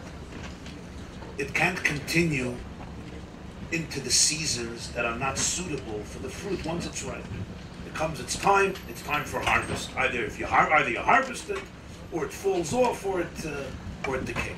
It decays. An esrig is unique. It's a fruit that it's dor b'ilonoi mishana l'shana. It remains on the tree throughout all the seasons, and it continues to grow. So if you harvest it, you harvest it. But if you leave it on the tree, it will remain not only fresh, alive, and vibrant, it will continue to become larger and larger. That's why you see some esrogim are not small esrogim, some esrogim are larger esrogim. Sometimes you see 747 uh, jumbo esrogim. It's the same esrog, same esrog tree. You leave the esrog, and esrog, I believe, can remain on the tree two years, three years, sometimes more years. I know so some esrog told me, somebody told me an esrog merchant, he said there's esrogim, he saw five years on a tree. Doesn't exist in other fruits. What's the Havana in this? The Havana is that's pshat, creates hadar, hadar. It continues to live. The tree becomes its deer, it lives there, just like a home. You're in the same home today, people have already summer homes. But you have the same home, summer, winter, spring, fall, autumn. It's your home, hadar. The estrig lives, it lives on the tree, the tree becomes its own mishana l'shana. It lives through the year, and it lives the next year, and it can live the next year, and it continues to live until you harvest it. It doesn't dry up, it doesn't fall off under normal circumstances, under ordinary circumstances. That's Pri Eitz Hadar. If this is the source of how we know Pri Eitz Hadar means Esrik, it means in Torah everything is bediak, everything is precise. It means that this is connected to the uniqueness of Esrik. It means that this is one of the reasons the Torah chose an Esrik. Because the quality of Hadar Beilonim Mishana Lashana is something that is essential to Simcha. It's essential to Zman Simcha Seinu. What is the concept of Hadar Beilonim Mishana Lashana, the way it applies to people's lives? What's the reason a fruit can't remain on a tree forever? Because different seasons work for it. Some fruits need the cold. Some fruits need the heat. Some fruits need the spring. Some fruits need the summer. But you come to the wrong season, the season is not good. We're not a good shidduch anymore. so therefore I can't remain on the tree. Either I fall off, or I rot, or you take me off. What's the uniqueness of the esrog? It endures all the seasons. No season doesn't work for it. Every season is fine with it. Not only that, it grows from every season. Not only does it sit well with every season, every season somehow promotes its growth. What does this mean in people's lives? Life, as you know, is never the same. There's no one season of life. It would be nice, but summer doesn't last forever. Spring doesn't last forever. Winter also doesn't last forever. I saw in my uh, in my backyard the over sukkahs, the leaves of one of the trees became absolute red. Gorgeous. The foliage, the change of color. Gorgeous red.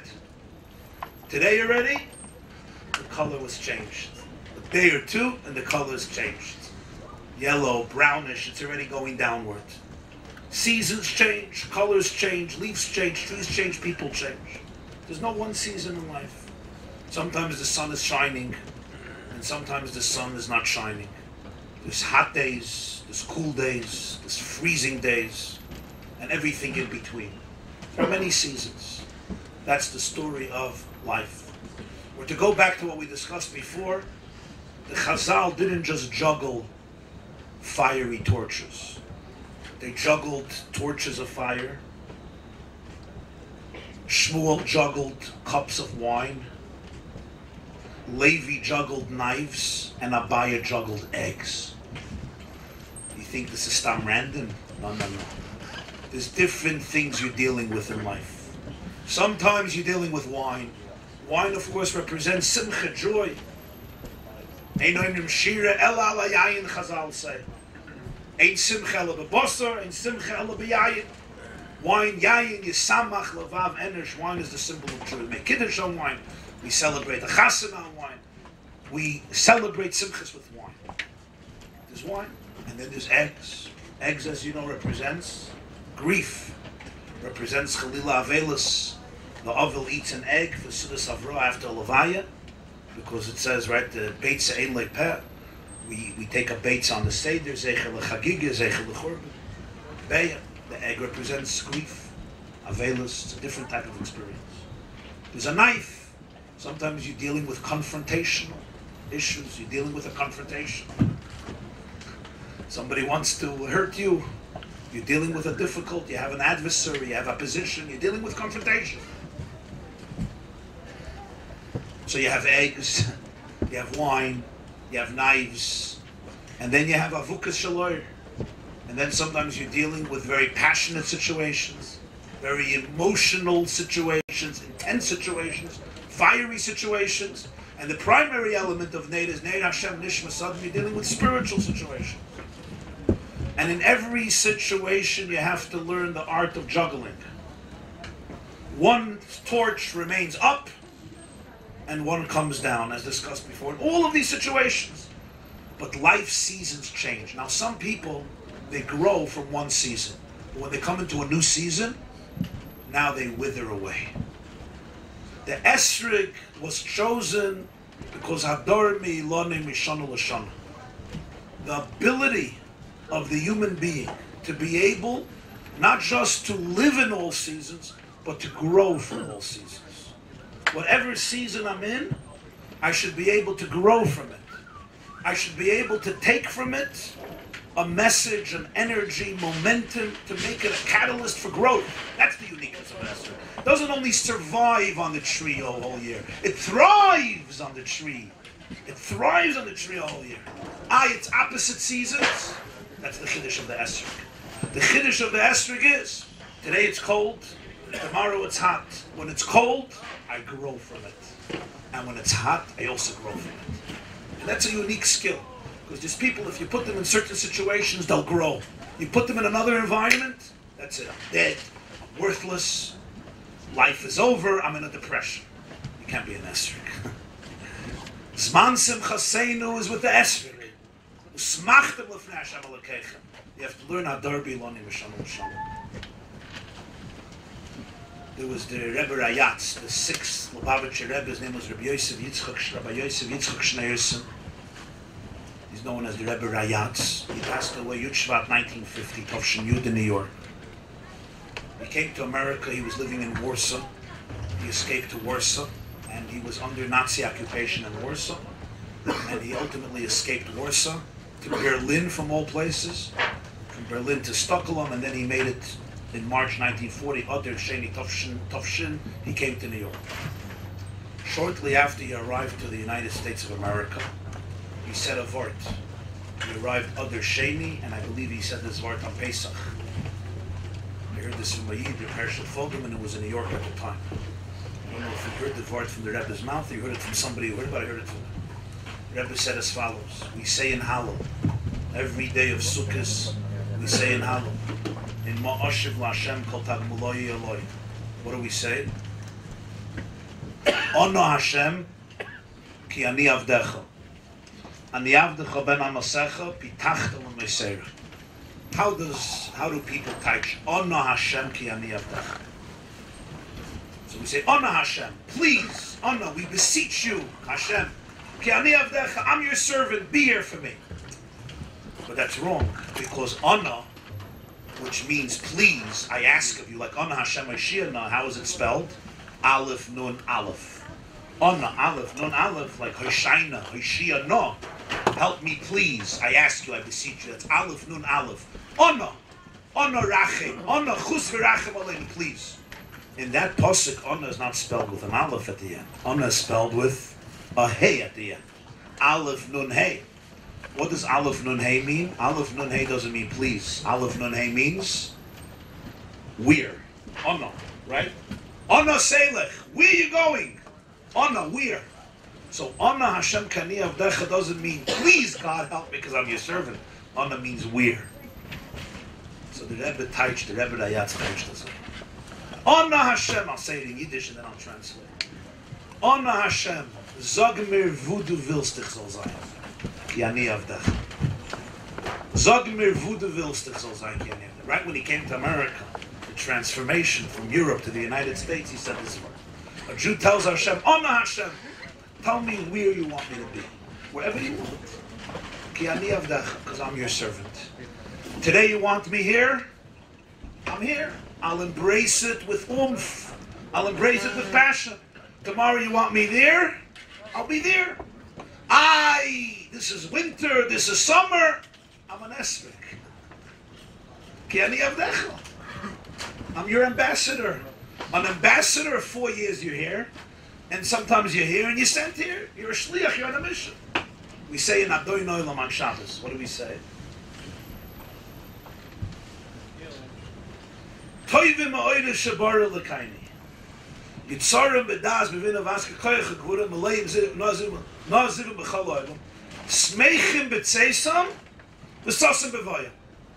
They're happy to go out and they're thrilled to come back. What, something is wrong. if you're happy to leave your house in the morning, you're not so happy to come back. If you love leaving, then you don't like here being here. If you love staying, then you don't like leaving. The. When you send them out, they're dancing. When you bring them back, they're dancing again. How does that work? The answer is oisim be'ema ritzoyin kaima. Since now the will of my Creator is to go out, and now the will is to come in, so. So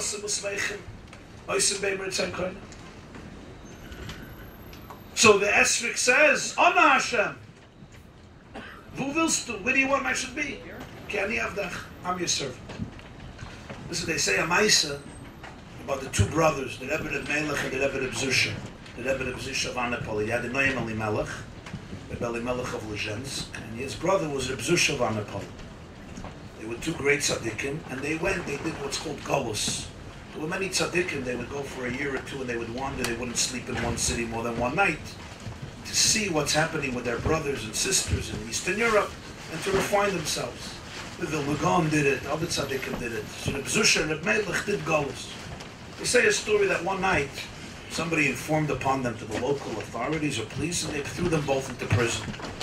So you have the Bzusha and the are in prison, it's a cell, and there's no uh, basic utilities over there. And uh, this is, you know, the late 1700s and all they have in the corner of the cell, they have a big bucket and a pail, and that's what people use for uh, for their needs, to, for you know, to, to tend to their physical needs. So you can appreciate or understand somewhat of the, the reach nichayach, or absence of it, the unique odor that uh, permeated the ambiance of the cell, to put it politely. It comes morning, as much as they could sleep, and the Rebbe of Zisha sees the Rebbe of Melech, his brother, Rebbe Melech is white weeping. Chlippet, is crying. He says, Bruder, was weinst? Why are you crying? So Melech says, what do you mean? How can I not cry? Halachically, you're not allowed to daven in this place. You can't say Hashem's name, you can't say Krishma, you can't say brachas, you can't say tefillah. You can't. Such a smell, such a reach, you're not allowed to daven. So that's why I'm crying. So the Zusha says, why are you crying? So you can't daven. He says, the first time in my life, I won't be davening. First time in my life. So his brother, I guess, plays a little dumb, and he says, okay, there's a first time for everything. So you won't daven. He says, what do you mean? When I don't daven, I don't have a relationship with Hashem today. I don't have a relationship with Hashem today. I feel detached. I'm fragmented. I'm not a whole person. Davening tefillah is miloshin hatoifel klei cheres. Tefillah doesn't really mean prayer. Tefillah means connection, alignment. The Mishnah says hatoifel klei cheres. You put together, you sew together. You sew together yourself with yourself, with your real self, with your soul. Tefillah is the time that you connect to the truth of your identity, to the truth of the world, to the core of reality, to the presence of Hashem. And today, I will be disconnected. I'll be disjointed. I'll be detached from God, from myself, from my true self. So Reb Zusha says, one second. Who says? What? You connect to Hashem by fulfilling His will. Every day Hashem wants you to daven. Today, Shulchan Aruch says you don't. You're not allowed to daven. So by you're not davening, das gufa is a chalois in halacha. You're not not davening because you're sluggish, because uh, you're, you're in a bad mood. You're not davening because it says in Shulchan Aruch not to daven. In other words, you're fulfilling Hashem's will through not davening. So you're connecting to Hashem by fulfilling His will. So today you'll connect through not davening. Every day you connect to davening. And today you'll connect through not davening because the same God who wants you to daven, today He wants you not to daven. So today you won't daven and that's how you'll connect to Hashem. Ah, interesting. Of course. You think God is not here because there's a garbage can? The same God says, where there's a garbage can, how do you connect? Through not davening. It's also a connection. It's a different type, but it's a connection. Gewaldige Wort. So instead of crying, you start singing. And since it's too chassidim, so they start dancing. So within five minutes, the prison cell turned in to a Simchas Torah de They were dancing, and all the prisoners joined along. They're dancing kazatske. It looked like it was Purim. It was Simchas Beis Hashoavah, Simchas Torah. The prison warden hears a commotion. He peeks into the cell, and he sees dozens of people, Matan, celebrity, they're dancing. It's not what a prison is for. It's made to crush people. So he runs in, he calls out one of the inmates, and he says, What's this dance all about? Why are you dancing? So of course he points to the two Jews in the middle of the circle, and he says they are guilty. They instigated everything. I mean, it's always the Jewish people's fault. It's always Israel's fault. They did it. Okay, but why are they dancing? Why are they dancing? The man says, I don't know, some deep mystical reason. Says, tell me why they're dancing. I don't know why they're dancing. So if you don't tell me why they're dancing, I will place you in solitary confinement for a month. Tell me why they're dancing. So uh, this man points to the bucket in the corner of the room. The prison warden says, That's why they're dancing? He says, Yeah. He says, How can this bucket filled with human fertilizer make anybody dance? So they say, somehow they explain that through this bucket they developed a new type of relationship with God. There was the pre bucket relationship and the post bucket relationship. Before the bucket had one type of connection. And through the bucket, they came to discover a whole different type of relationship, and they're getting very excited about it. So the prison warden says, Really? I will teach these Jews a lesson. And what does he do? He takes the bucket and he throws it out of the room. So the Bzusha turns to the Elimelech and he says, Bruder, jetzt kannst du davenen. My brother, now you can start davening. But it's not just a story. There's a profound message in the story. You're always in a relationship. You're always you're always in the aminay. You're always in an embrace.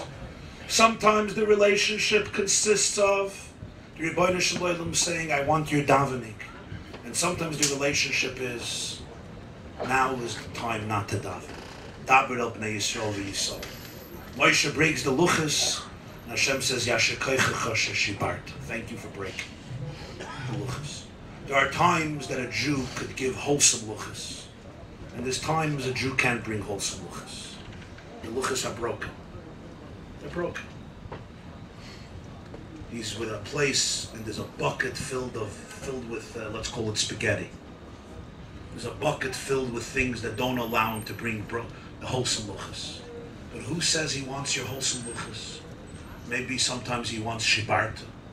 Maybe sometimes he wants broken luchas. The same luchas were in the same aron in the Holy of Holies. Who said the Kodesh HaKadoshim is only made up of whole luchas? The Kodesh HaKadoshim was made up also of shivrei luchas, also monachim ba'aron. The Gemara in Baba Basra, lucha is vishivrei luchas monachim ba'aron. Ono Hashem ki ani avdecha. Tell me where you want me to be. I'm your Evan. That's the uniqueness of the Esrik. Hador bi ilonoi mishana l'shana. Not only does the Esrik not get nispol, not get affected from climate change. We talked today about climate change. We talked today about how the climates change. There's physical climates, and then there's spiritual climates, and there's emotional climates. And then who doesn't change, and who doesn't live in a world of change? The uniqueness of the Esrig is not only do you endure change, every change you could look at and ask yourself one question How am I going to grow from hmm. it? How will I become a better person, a deeper person, a more real person, a more godly person? Honor Hashem, ki ani avdech. Chayim, chayim, chayim. It's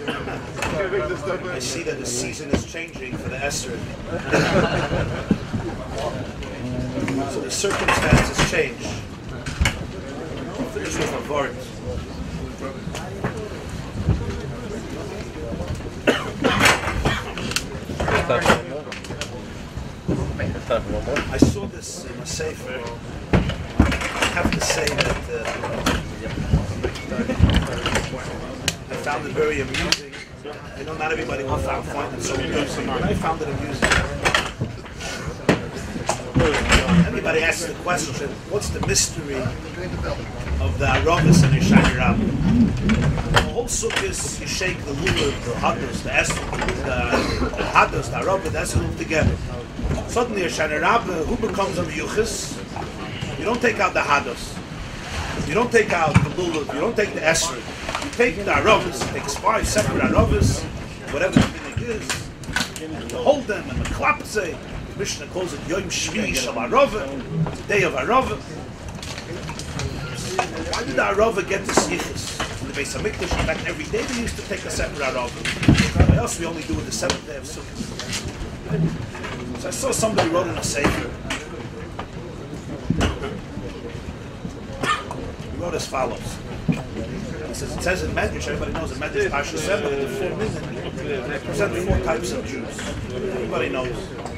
The Esrog has a taste or a smell. The Jew has Torah and mitzvahs. The Hadas is a smell without taste. With with, uh, with mitzvahs but no Torah.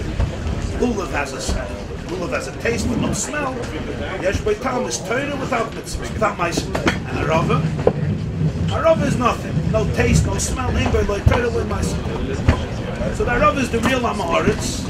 The real ignorant Jew doesn't learn, doesn't do. Nonetheless, a whole sukkahs, you connect it with Lulav, the Hadas, and Esrog.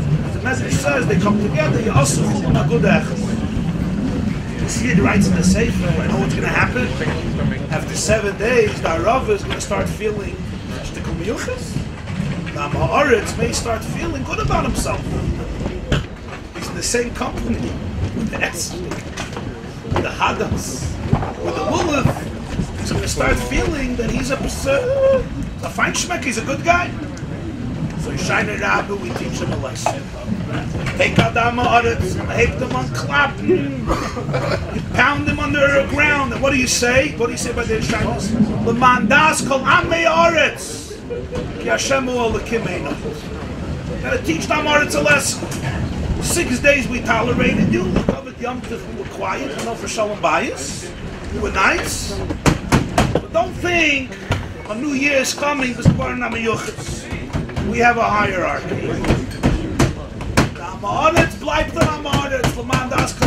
We clapped him five times. And this he writes it seriously. Writes it seriously.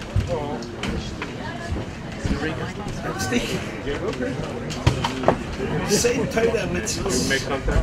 It's all about perspective. If I was a boy, Bob Rebbe used to speak every night sukkahs. After Maida, half an hour, an hour, sometimes longer. Schmack, like a schmack. Many years. One year was a Shana Rabbah. Tovshin Mem Dalit. Quite a young boy, 1983. Full bar mitzvah. So the Lubavitch Rebbe has the same shine. Say shine Rabbi, Sayichis with the Rav, with the Rav. Spoke an hour about it. I want to say one good. The same question, a little bit of a different answer.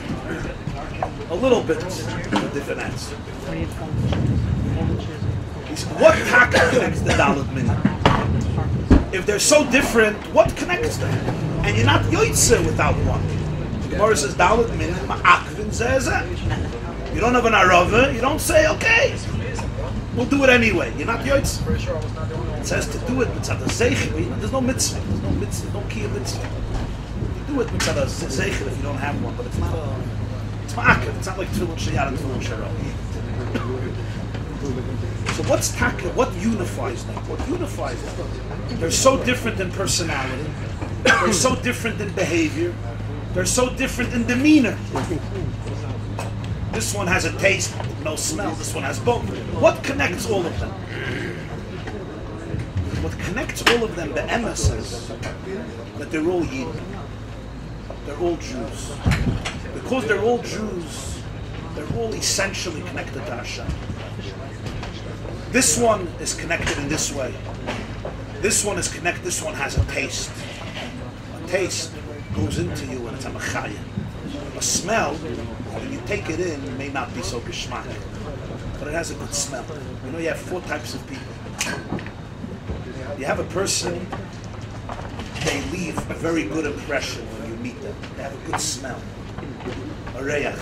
But once you taste them, once you spend some time with them, once you take them in, it's not so geschmack.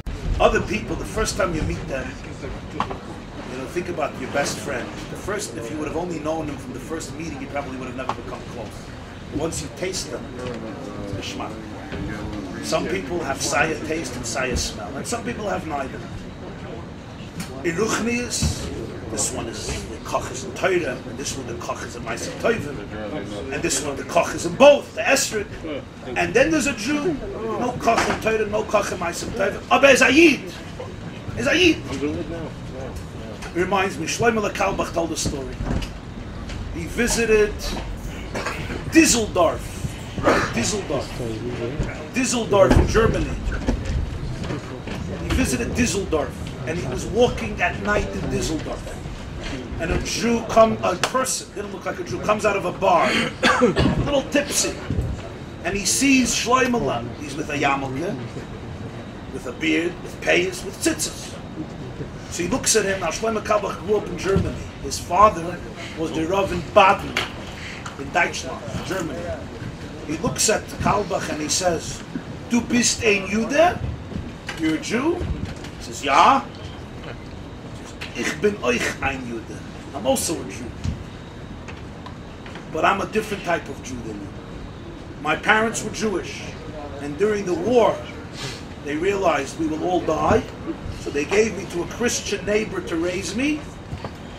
I always knew that I was Jewish, but I never ever did anything Jewish in my life. I know I'm Jewish, but I never did anything Jewish in my life. Not only that, he says, I don't think I ever did anything good in my life.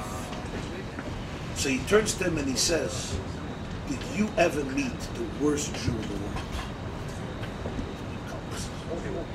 world?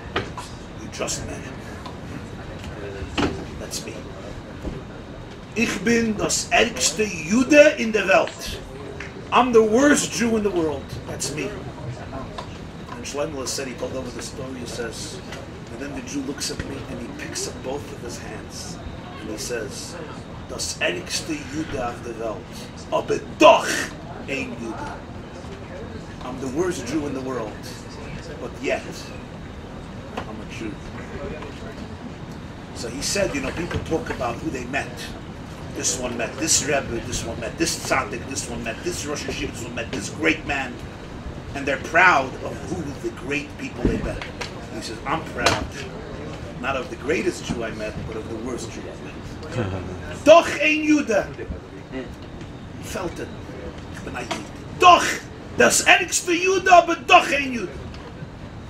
Da Rava So they come together. That's what comes out on Sukkot. In the hug, all the children come together because you're not being hugged because of your talents or your IQ or your creativity or even the nachas that you give me. I'm hugging your back as much as your face. That's all the six days of Sukkot.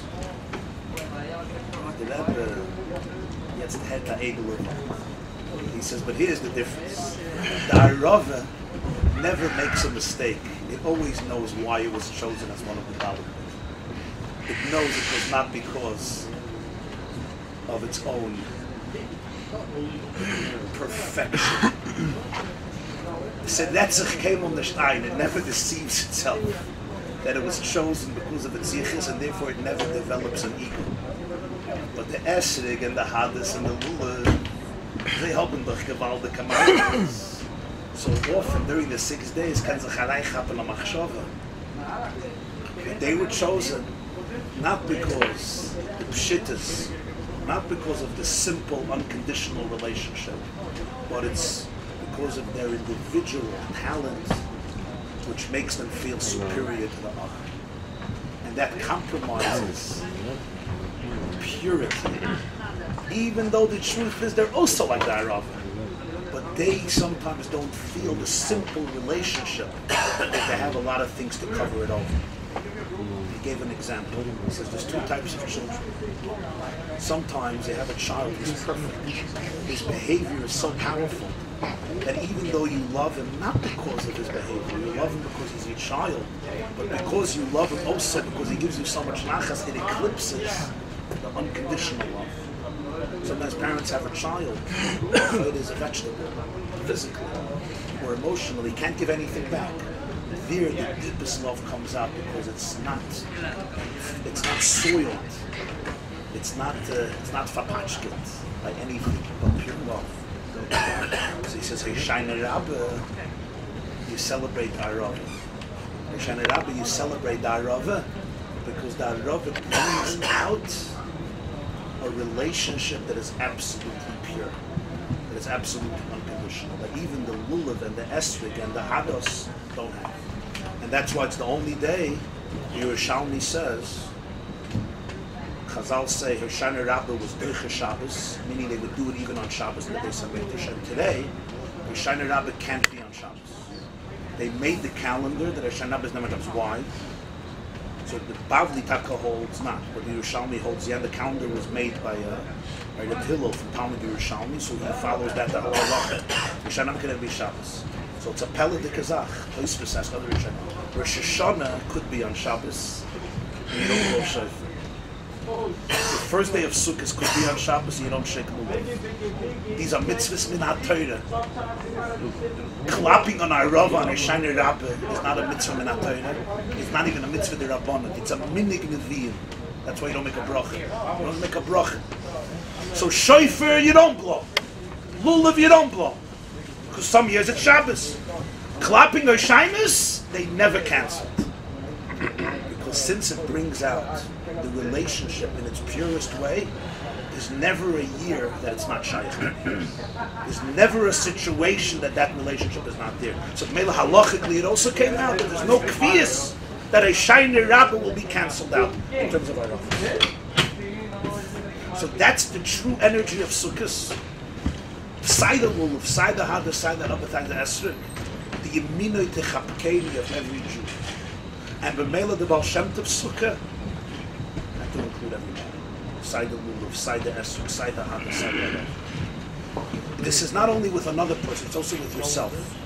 Every person has components in where they're the best, and then sometimes they look at themselves and they say, das extra. So it's not pshad, your love despite that. It's pshad that sometimes that quality, that component, is your deepest component. Because it's what keeps you real, authentic, human, and vulnerable. May all of us build sukkahs in our lives and in the lives of our loved ones, in the lives of Klal Yisrael, that could make every Jew, every soul feel the minoi techapkeni, the chibuk, chayim, chayim, Chayim, If it has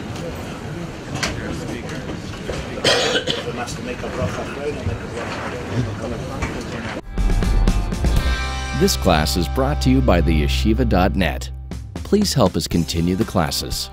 Make even a small contribution at www.theyeshiva.net slash donate.